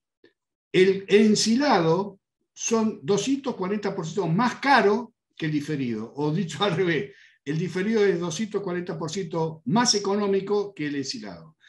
Trabajo experimental. Esto va a traer ruido, mucho ruido. ¿Por qué? Porque esto está hecho en una región marginal de la región. Está hecho en, la zona de Villa pegado a la Pampa, sudoeste bonaerense, con lluvias por debajo de, 500 milímetros.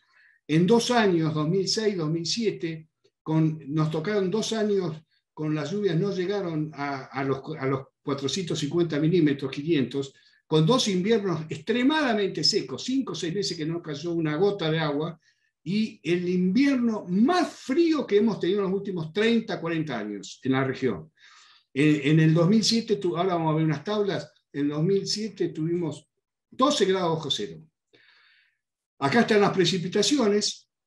Fíjense que la 2005-2006 fue todo lo azul, 330 milímetros. Al año siguiente tuvimos casi 780, pero porque tuvo un, un donde está la lluvia.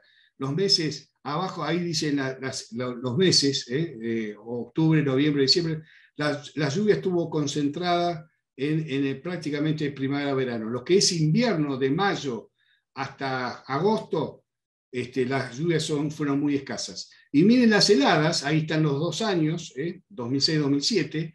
ahí fíjense en el 2007 tuvimos, julio tuvimos 12 grados cero, en esa realidad es, eh, estas son unas temperaturas muy extremas, no es normal estos valores en la región, pero que tenemos normalmente inviernos secos y con mucho frío y muchas heladas es normal. Por eso esta, estrategia de los sordos diferidos es más que interesante. Acá vamos a ver los resultados de, del año 2006, donde eh, un verdeo de avena acompañando los sorgos BMR diferidos. Los sorgos BMR diferidos no tienen proteína, como hablamos con los ensilados, ningún ensilado tiene proteína, salvo los de cereales de invierno, que sí tienen alto nivel de proteína, pero de maíz de sorgo no tienen proteína los ensilados. Los, los diferidos tampoco. Hoy dijimos los diferidos de, de maíz diferidos, de sorgo granífero diferidos y de BMR diferidos. Ninguno tiene proteína. Por eso tenemos que ponerle la proteína. Los terneros que vamos a ver ahora en, imagen eh, requieren de, 15 a 16% de proteína. Total de la dieta. En los sorgos, BMR, aún BMR, tienen 8, 7, 8 puntos de proteína. Ahora vamos a ver. Pero la digestibilidad, y acá el punto de quiebre. Si yo, lo que vamos a ver, uso un sorgo común, comercial, de buena calidad, de buena, de buena eh, empresa, diferido, no BMR, la proteína es baja, 108 puntos, pero la digestibilidad no pasa de 50 a 55%. No pasa. Ahora vamos a ver la digestibilidad de los sorgos BMR, pleno invierno, con muchas heladas, con mucha sequía, se van a, sorprender. La calidad que tienen los BMR, diferido o, en pastoreo directo, supera entre 15 y 20% más calidad que los sorgos comunes. Esta es una foto Fíjese la fecha, 23 de, de, junio de 2006, de la avena, miren cómo está la avena quemada por la helada, por la sequía, y el sorgo de MR que, que comimos. Ahí eh, sigue la foto, fíjense la fecha, esta es el 26 de, de, mayo de ese año, donde acá están el ensayo, el ensayo que después pasó a ser un ensayo un trabajo comercial, 133 terneros durante tres meses, y el potrero tenía 70 hectáreas. La mitad se lo sembró de avena y la otra mitad de sorgo de merre, con una calle en el medio. Y con una, carga anual de más o menos dos cabezas por hectárea. Y acá están las distintas ganancias de peso. Fíjense que arrancamos en mayo-junio con 930 gramos de ganancia diaria de los terneros. En la segundo pastoreo tuvimos casi 700 gramos y el último, eh, que fue ya el cultivo estaba reseco, la avena reseca, fíjense la fecha, julio-agosto, este, no llegamos a 400 gramos. Muchos, mucha gente me dijo, ¿por qué no saco el, tercer pastoreo? Porque total nadie se va a enterar de que, hay, que hubo esa ganancia. Digo, no, no, esto es lo que pasó, esto es lo que realmente pasó.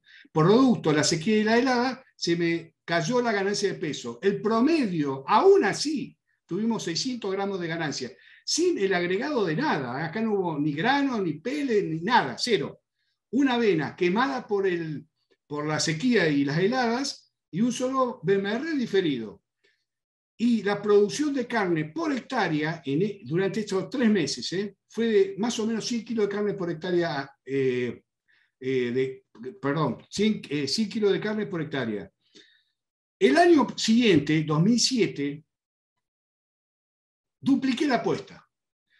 Yo pensaba que el 2007 iba a ser un mejor año que el 2006. De hecho, fue un muy buen verano. Del, ahora vamos a ver una foto del BMR eh, en verde, antes de, secarse. Y claro, yo vi eso y dije, bueno, tenemos un 2007 muchísimo mejor que el 2006. Entonces, ¿qué hice? Dupliqué la apuesta. En lugar de dos cabezas por hectárea, puse cuatro terneros por hectárea. Y en lugar de tres meses de duración del ensayo puse cuatro meses, 120 días.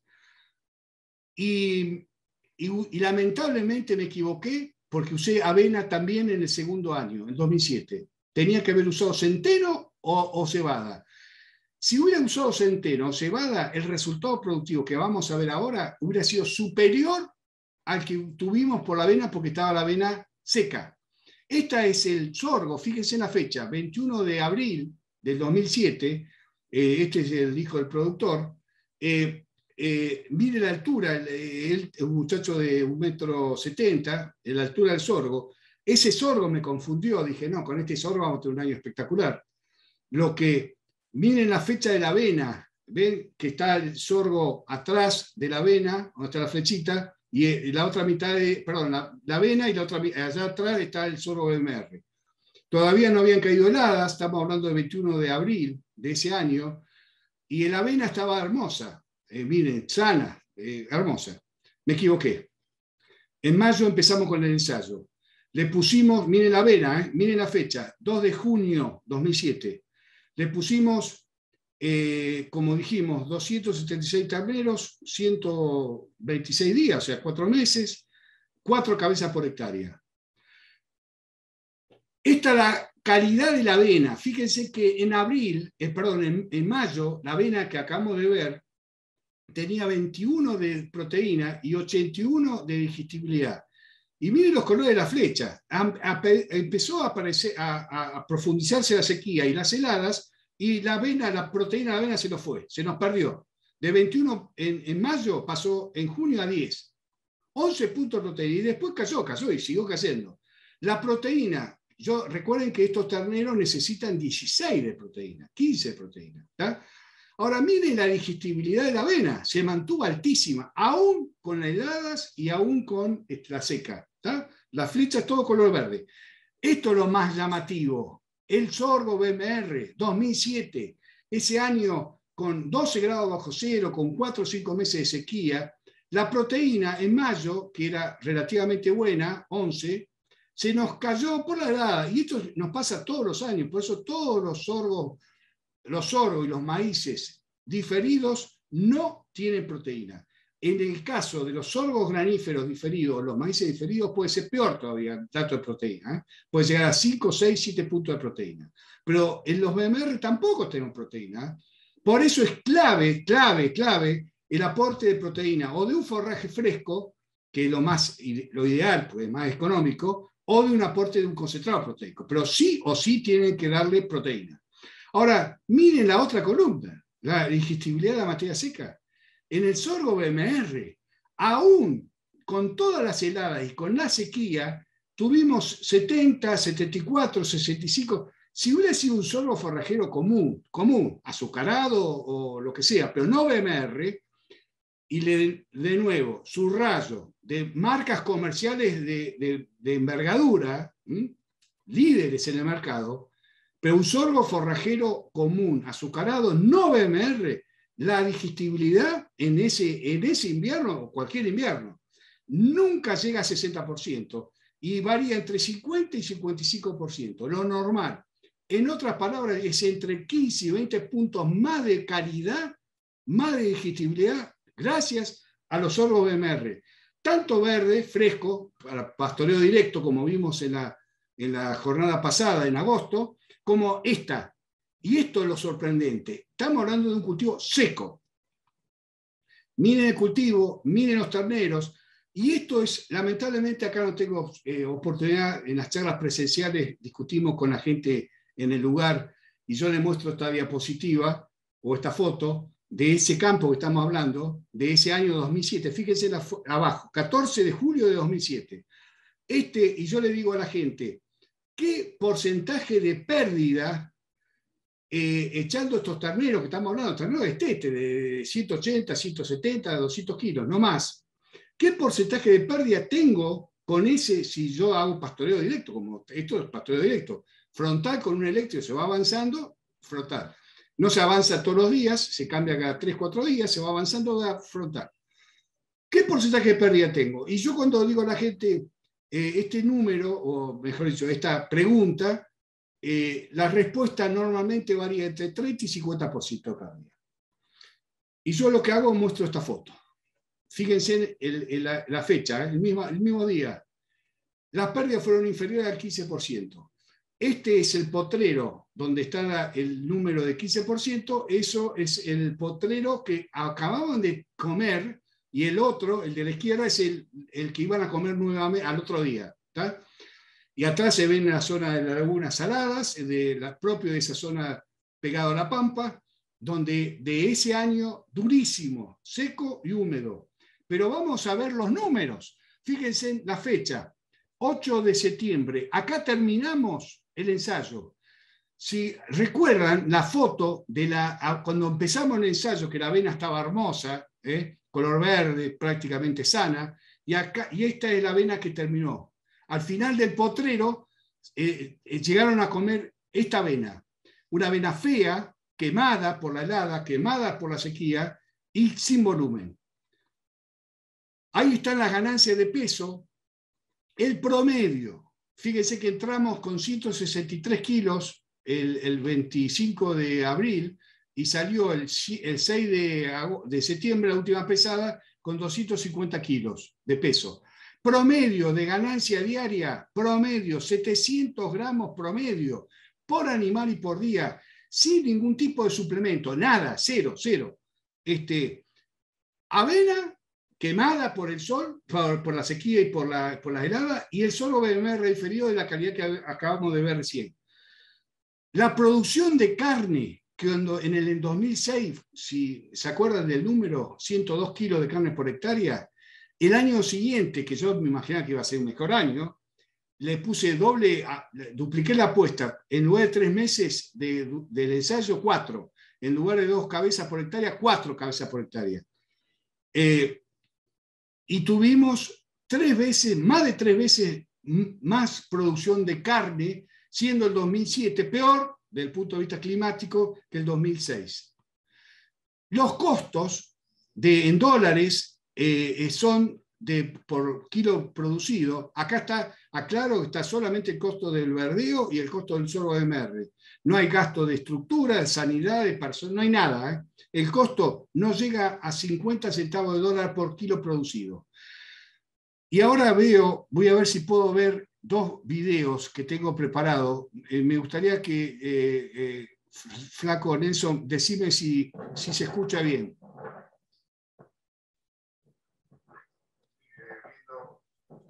ensayo de recría con sorbo BMR inferidos y un barrido de invierno que se, se en este caso. Acá estamos poniendo una desmanezadora porque está mirando y debajo de un eléctrico animales están comiendo de ese eléctrico para reducir hasta el Se escucha muy. Estamos viendo novillos comiendo avena están comiendo parcelas diarias, avena voluntad. Ahora sí. Con una ganancia promedio de 32,5%. Bueno, eh, esta es la primera vez que yo hice, que pongo un, una video en, una charla, pero bueno, eh, me tiene que disculpar. Eh, me gusta, yo no sé si, si hay lugar para repetir la, la primera parte porque tenía bajo el volumen, pero lo que quería mostrar es que todos estos trabajos que estamos haciendo, en muchos casos como este, tenemos un video que refuerza el mensaje que queremos dar. Este es otro trabajo en otro campo de la zona de Cabildo, cerca de Bahía Blanca. Eh, las lluvias son un poquito mejor que lo que acabamos de ver, el promedio varía entre 550 y 650 milímetros de lluvia, promedio, hay años que llueve un poco más y hay años que llueve un poco menos. En este caso usamos sorbo BMR diferido con grano de maíz. Y el tratamiento 2 fue sorbo BMR diferido con grano de maíz y le agregamos urea como aporte de proteína que no teníamos en la dieta. Eh, la, la urea yo acá pongo, porque esto así pasó, el dueño es eh, Fabián Fernández, un veterinario, eh, el productor y veterinario, y, como el ensayo lo hicimos cerquita de la casa, me animé a, usar eh, la urea con, mezclada con el grano de maíz una sola vez al día, y ahí está el horario de suministro. Mi consejo en todos los casos es repartir la urea y, el grano mezclado con grano en ¿Será posible? Se me apaga, no puedo sacarla. Sigo. Eh, este es el ensayo con 60 novillitos, este es el peso que tuvieron de, inicial y el peso salieron con el peso eh, eh, de, de, 300 pasaron a 350, de más o menos los dos grupos. Acá está la foto de, cómo era el BMR, eh, este caso un BMR granífero, eh, antes y cómo estaba después cuando se lo usó en el ensayo. Y estos son los análisis de calidad de los, de los granos. Fíjense el grano de maíz, 85 de digestibilidad y 9 de proteína. El sorgo BMR diferido no llegó a 10 de proteína y 67 de digestibilidad, lo que hablamos hoy altísima calidad. Y la urea, bueno, los datos de urea. Eh, estas son fotos de, ese ensayo, ahí está el productor, eh, Fabián Fernández, eh, ahí están los animales que, se usó en el ensayo, y miren las ganancias de peso. El tratamiento que tuvo solo BMR diferido con grano de maíz solo, un kilo por día, y lo que tuvieron una cuota de, de, urea, alrededor de, creo que de 100 gramos, a ver, vamos a eh, a ver si está la dieta. Ahora, ahora me quedo dando vuelta al tema de, la cantidad de urea, pero ah, la cantidad de urea son alrededor de 100 gramos. Eh, acá están los costos del tratamiento 1 y el tratamiento 2, con y sin urea.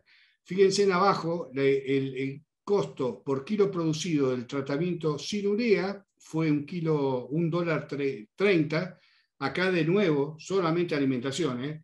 no está puesto personal, estructura, sanidad, no hay nada. Y con urea, un dólar 20. Eh,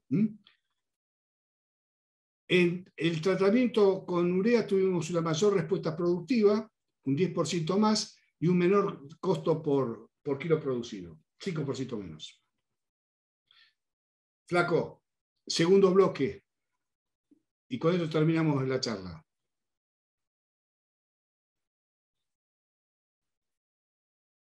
Nelson, ¿estás? Acá estoy, acá estoy. Este, bueno, Aníbal, este, hay unas cuantas preguntas, ¿eh? así que este, para que todos puedan aprovechar, este, hasta que, para que todos puedan aprovechar si las podés hacer al estilo último, cortito y al pie. Eh, a ver, déjame ver, estoy rastreando entre las que quedaron de, del bloque anterior. Eh, acá, Ignacio, del picado 2 a 3 centímetros, ¿qué experiencias tenés en compactación utilizando bolsa? Eh, bueno, me imagino que bolsa es silo bolsa. La, compactación lo hace la, hace la prensa de, la, de embosadora. Eh, el resultado, a ver, yo el picado de 2 a 3 centímetros es el que yo hago siempre, desde la década del 80. Ah, en aquella época era con las máquinas de picado simple, la famosa, yo no quiero dar nombres comerciales, pero eran las máquinas de picado simple que eran de 4, 5, 6 centímetros. A hoy, que las ultra picado hacen el picado como dijimos, desde menos de un centímetro y medio hasta 2, 3, 4 centímetros todos los trabajos míos, todos, en leche y en carne, con maíz, con sorgo, con cereales de invierno. El año pasado tuvimos silos de cebada y silos de trigo, eh, con picados cada 2 o 3 centímetros, resultados espectaculares.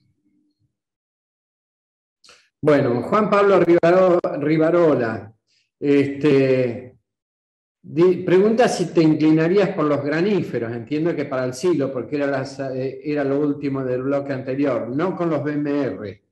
Sí. No, no, seguro, seguro. Silo de sorgo granífero, y cuanto más tarino, mejor. Perfecto. Eh, de Rubén Mondino. Tiene experiencia en sorgo silero azucarado Agri 002 boliviano. A ver, eh, yo sé que hay gente de Bolivia eh, conectada y de Paraguay. Y en Bolivia están, están este, promocionando unos sorgos muy buenos, muy lindos. O sea, bueno, son sorgos de alta producción de forraje, de altísima, de 3-4 metros de altura, con más o menos granos. Yo no tengo ningún trabajo hecho con esos sorgos. Lo que tengo mis serias dudas, mis serias dudas, porque todos los trabajos que se hacen, no solamente en, en Bolivia, sino en los distintos países de América Latina, no se hacen estudios de calidad de forraje de los ensilados, se hacen estudios del volumen. De, entonces, guarda con ese mensaje que cuando el silo tiene mucho volumen, como estos casos, estos sorgos de 3-4 metros de altura, pero la calidad es mediocre, solamente sirven, yo lo aconsejo para vaca cría.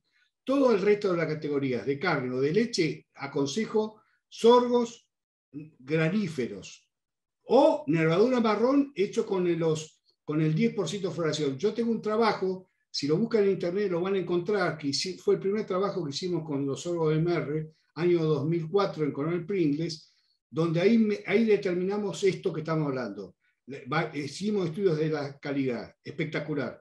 Pero lamentablemente los, con los sorgos BMR, ya dijimos, es muy complejo picar, cortar y picar un sorgo con el 10% de apanojamiento. Por eso aconsejo como resultado final de todo esto, sembrar sorgos graníferos para picar, para ensilar.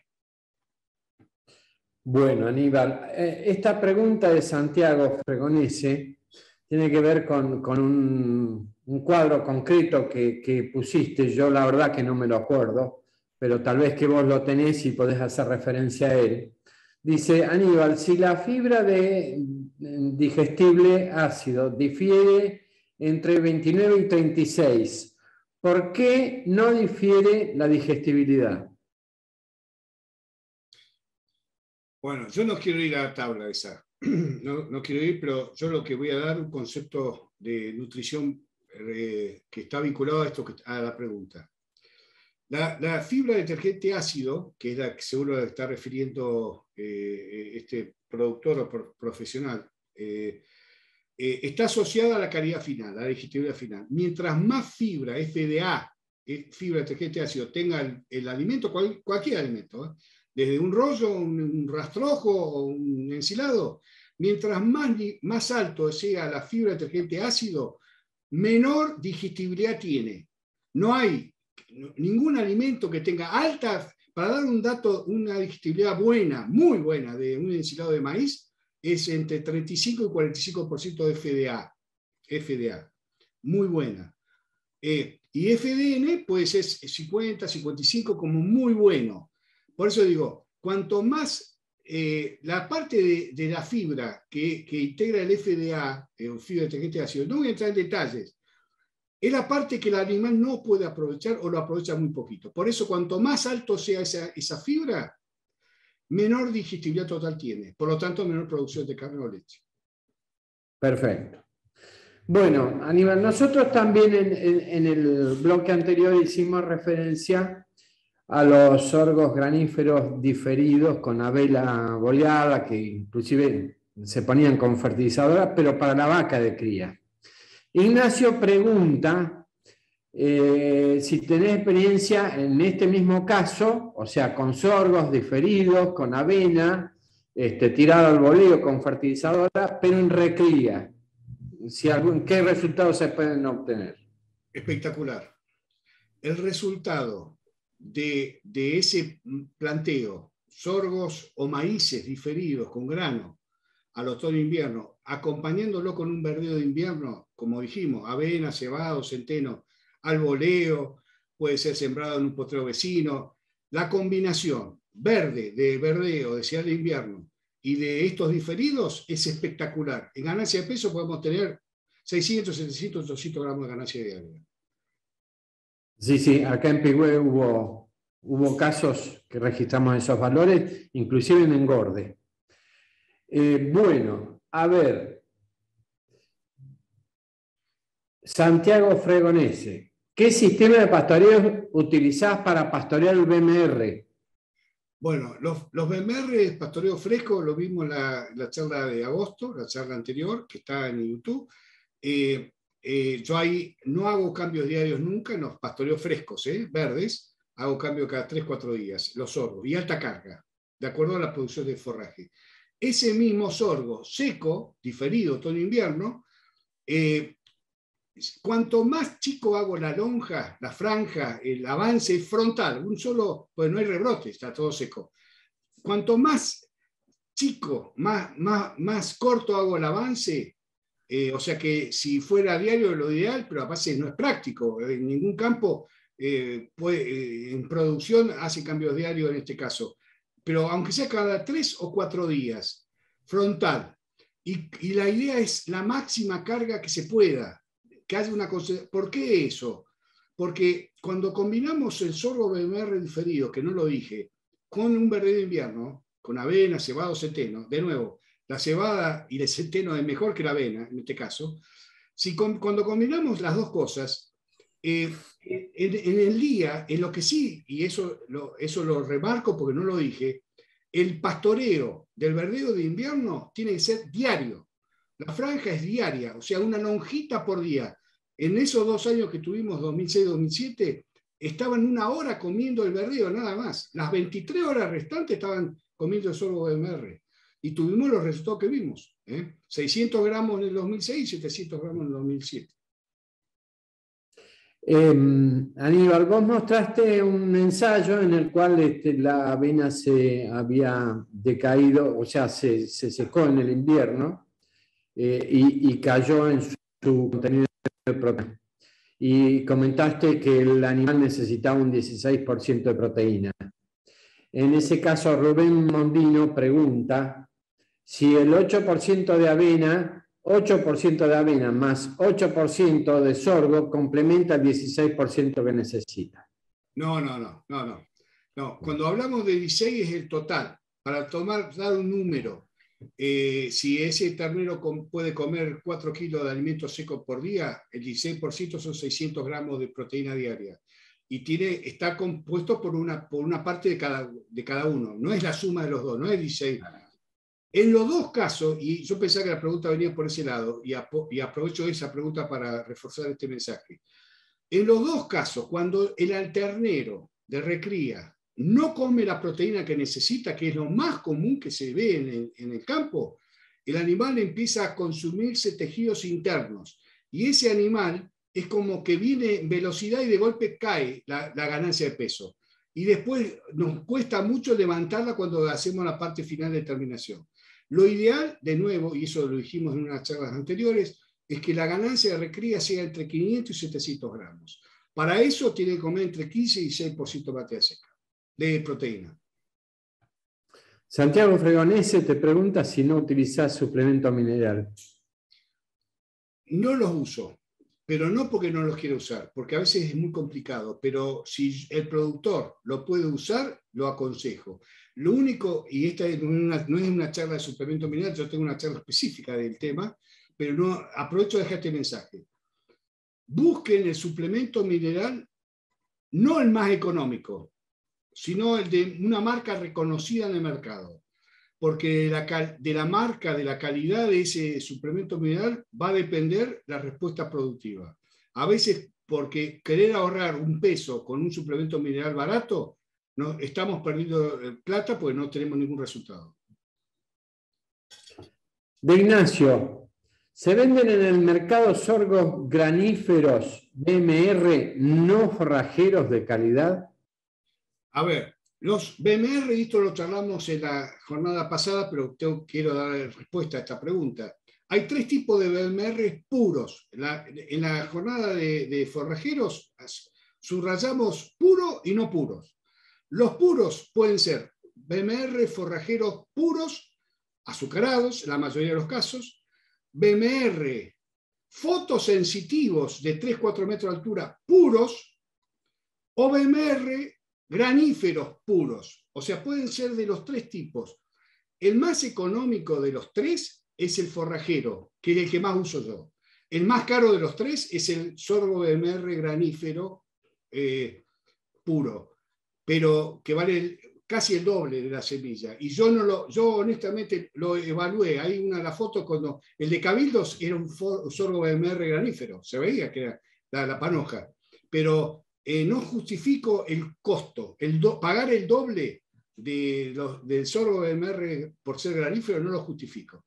Yo honestamente, yo creo que el productor de carne o de leche vaya al sorgo BMR puro forrajero, que lo puede comer en pastoreo directo o dejarlo diferido, porque una de las técnicas que yo aprovecho la pregunta, vamos a hacer este año, este año 2000, en, este verano, vamos a, en algunos campos ya vamos a sembrar BMR puro, cerrado, para dejarlo diferido el, el invierno que viene.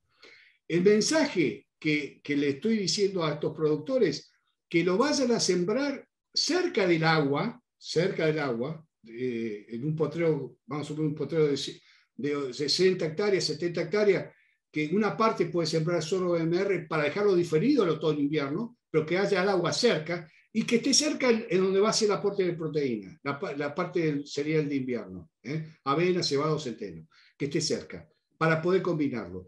En muchos campos ya lo estamos haciendo así, lo estamos sembrando así. En otros, sembramos solo BMR para pastoreo, no sabemos qué verano vamos a tener próximo, y, si nos, y los comemos. Si podemos cerrar el rebrote de febrero, marzo, cerrarlo y dejarlo diferido, lo, lo vamos a hacer. Y si no, lo comeremos. Bueno, tenemos todavía varias preguntitas, Aníbal, ¿eh? así que este, Voy a la que sigue, de Erna. ¿Qué respuesta se puede esperar con animales en terminación en un maíz diferido suplementado con cebada de cuarta, merma de zarandeo? Bueno, no, ¿dice qué categoría de animales? ¿Destete? No, pero si abrís el micrófono, Erna, y lo comentás ahí al toque, así no me voy para abajo y pierdo las preguntas.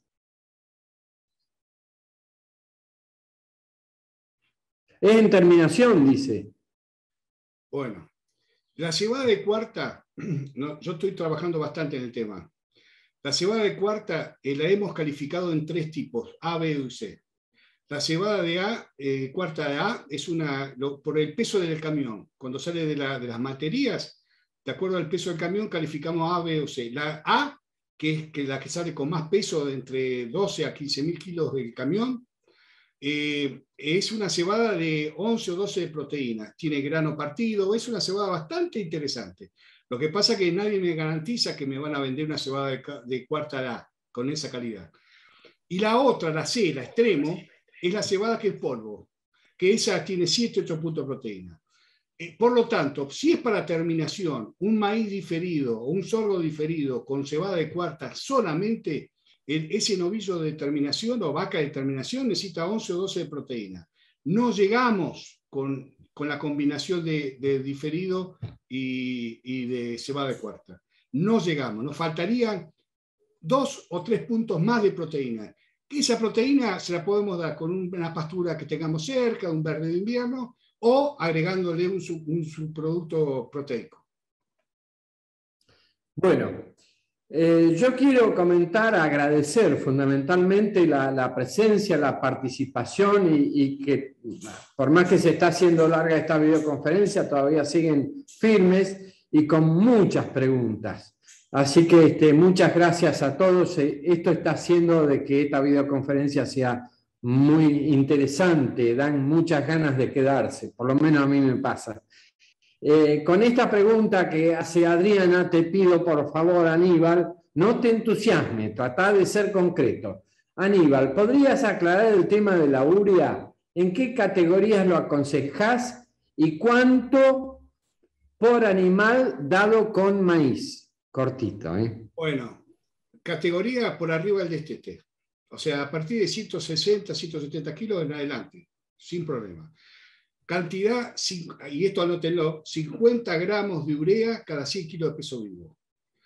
Un ternero de 200 kilos son 100 gramos de urea por día. Un, ternero, un ovillito de una vaca de 400 kilos, un ovillo de 400 kilos son 200 gramos de urea por día.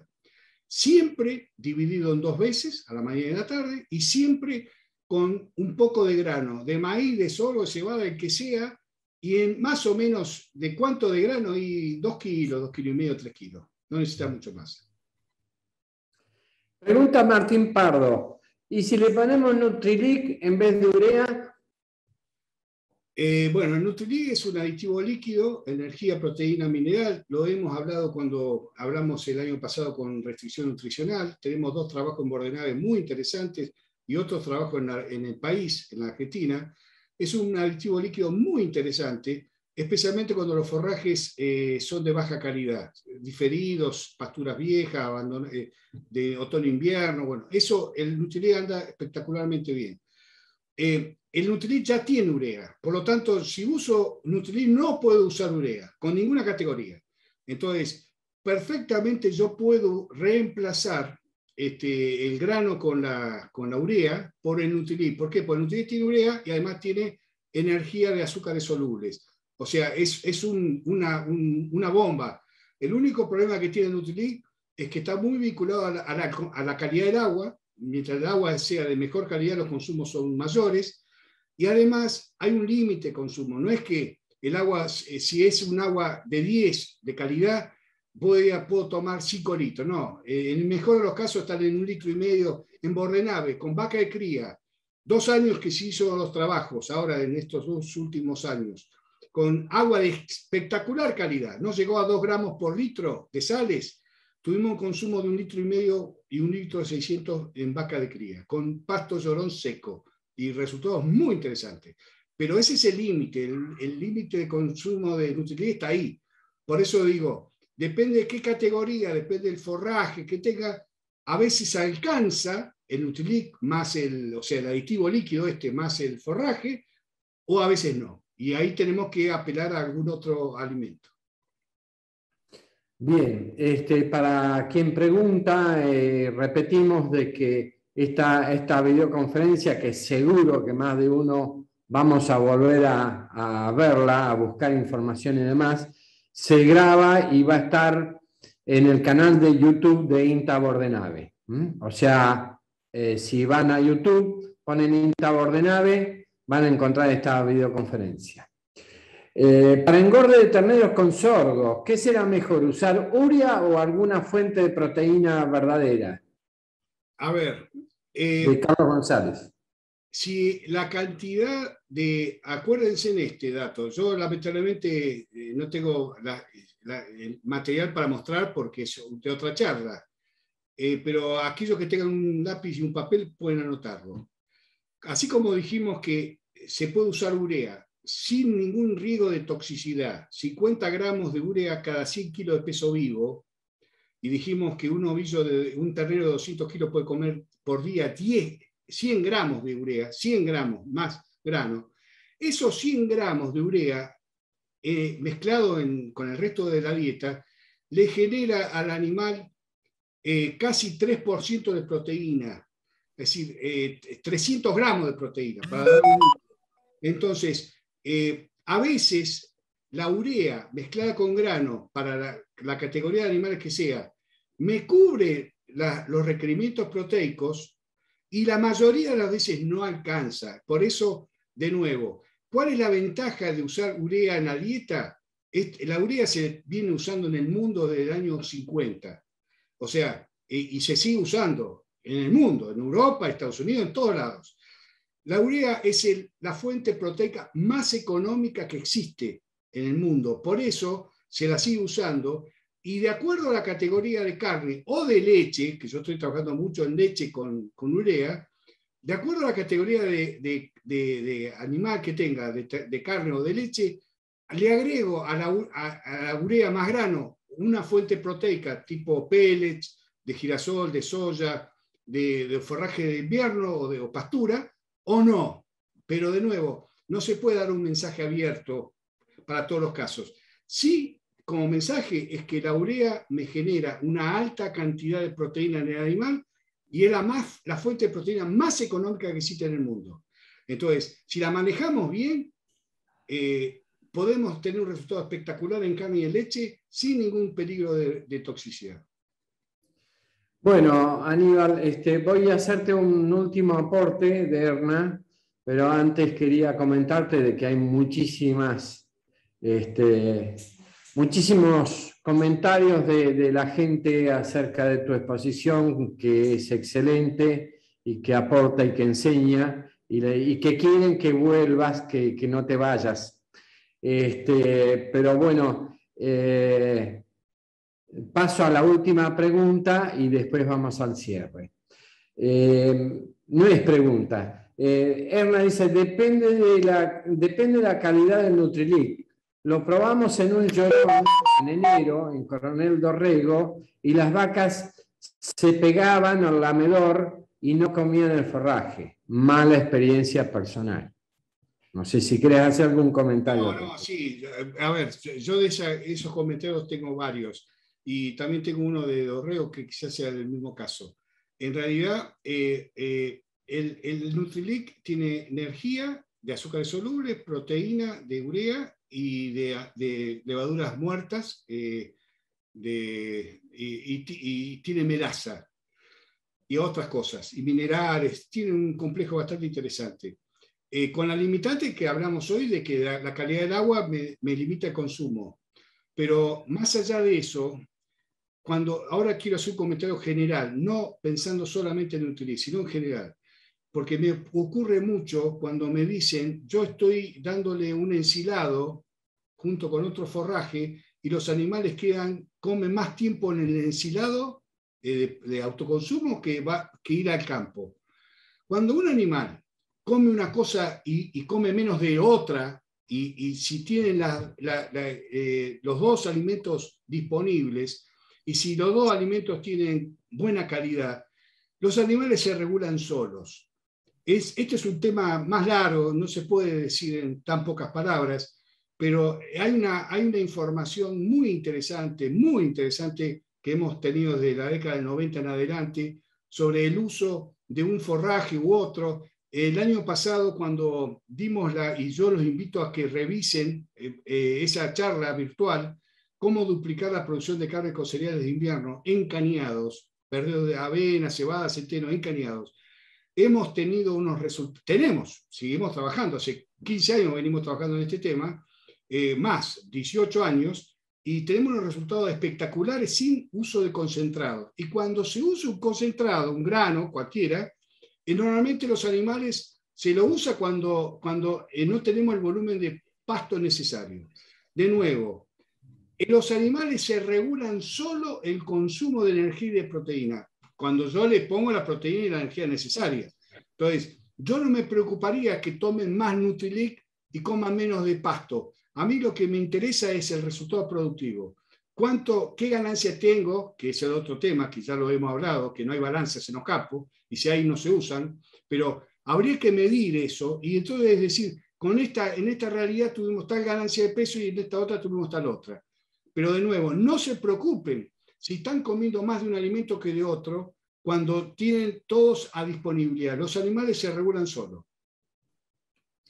Bueno, Aníbal, este, me confundí animar la última palabra que dijiste con tu nombre. Eh, Aníbal, eh, antes te voy a invitar a que hagas el cierre, pero antes de que te vayas de, la videoconferencia, te invito a que repases el chat porque hay muchos saludos y muchos agradecimientos para vos, así que sería bueno que los, los revises.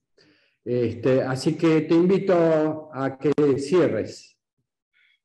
Bueno, yo agradezco al grupo importante que nos están siguiendo en estos últimos tiempos eh, con estas charlas virtuales eh, y veo que la gran mayoría, la gran mayoría, tenemos reuniones virtuales del año pasado que participaron 100, 150 personas y en YouTube hay más de 1000 visitas. Mucha gente, eh, lamentablemente por los temas horarios, no, pueden participar de forma directa y, buscan la información en la grabación. Lamentablemente la grabación tiene un problema de que de que no pueden participar en esta discusión que estamos teniendo. Pero gracias a eso, gracias a la grabación, tienen acceso todos los, los productores y los profesionales de distintas partes del mundo. Y así que yo le agradezco el acompañamiento que hemos tenido hasta, hasta, hasta hoy, hasta esta jornada de hoy. Eh, ya tenemos temas para el año que viene, eh, que no, lo, no los quiero... Le voy a adelantar dos o tres temas. Uno va a ser el tema aguas, otro tema hongos, otro tema calidad de carnes, y, y es posible, y eso vamos a estudiarlo con, con, eh, con Nelson Gibelli, si podemos hacer algún tipo de encuesta para eh, repetir algunas de las charlas que hemos dado ya virtuales para que la gente pueda sumarse, discutir y participar. Pero bueno, eso está todo eh, en organización. Yo de nuevo agradezco el acompañamiento que hemos tenido hasta ahora como, como técnico de INTA Borrenave y, y ojalá que, bueno, que nos acompañen de ahora en adelante siempre. Bueno, gracias Aníbal, gracias a todos los participantes. Eh, creo que hemos compartido un momento espectacular esta mañana, de mucho aprendizaje y de mucho intercambio. Nosotros, como siempre, los esperamos todos los jueves a las 9.30 de parte de INTA Bordenave y sus agencias de extensión. Y los invitamos a que vean todas las charlas todas las videoconferencias que hemos dado hasta el momento en el canal de YouTube de INTA Bordenal. Sin otro particular, nos despedimos de todos. Gracias por participar y hasta la próxima. Chao.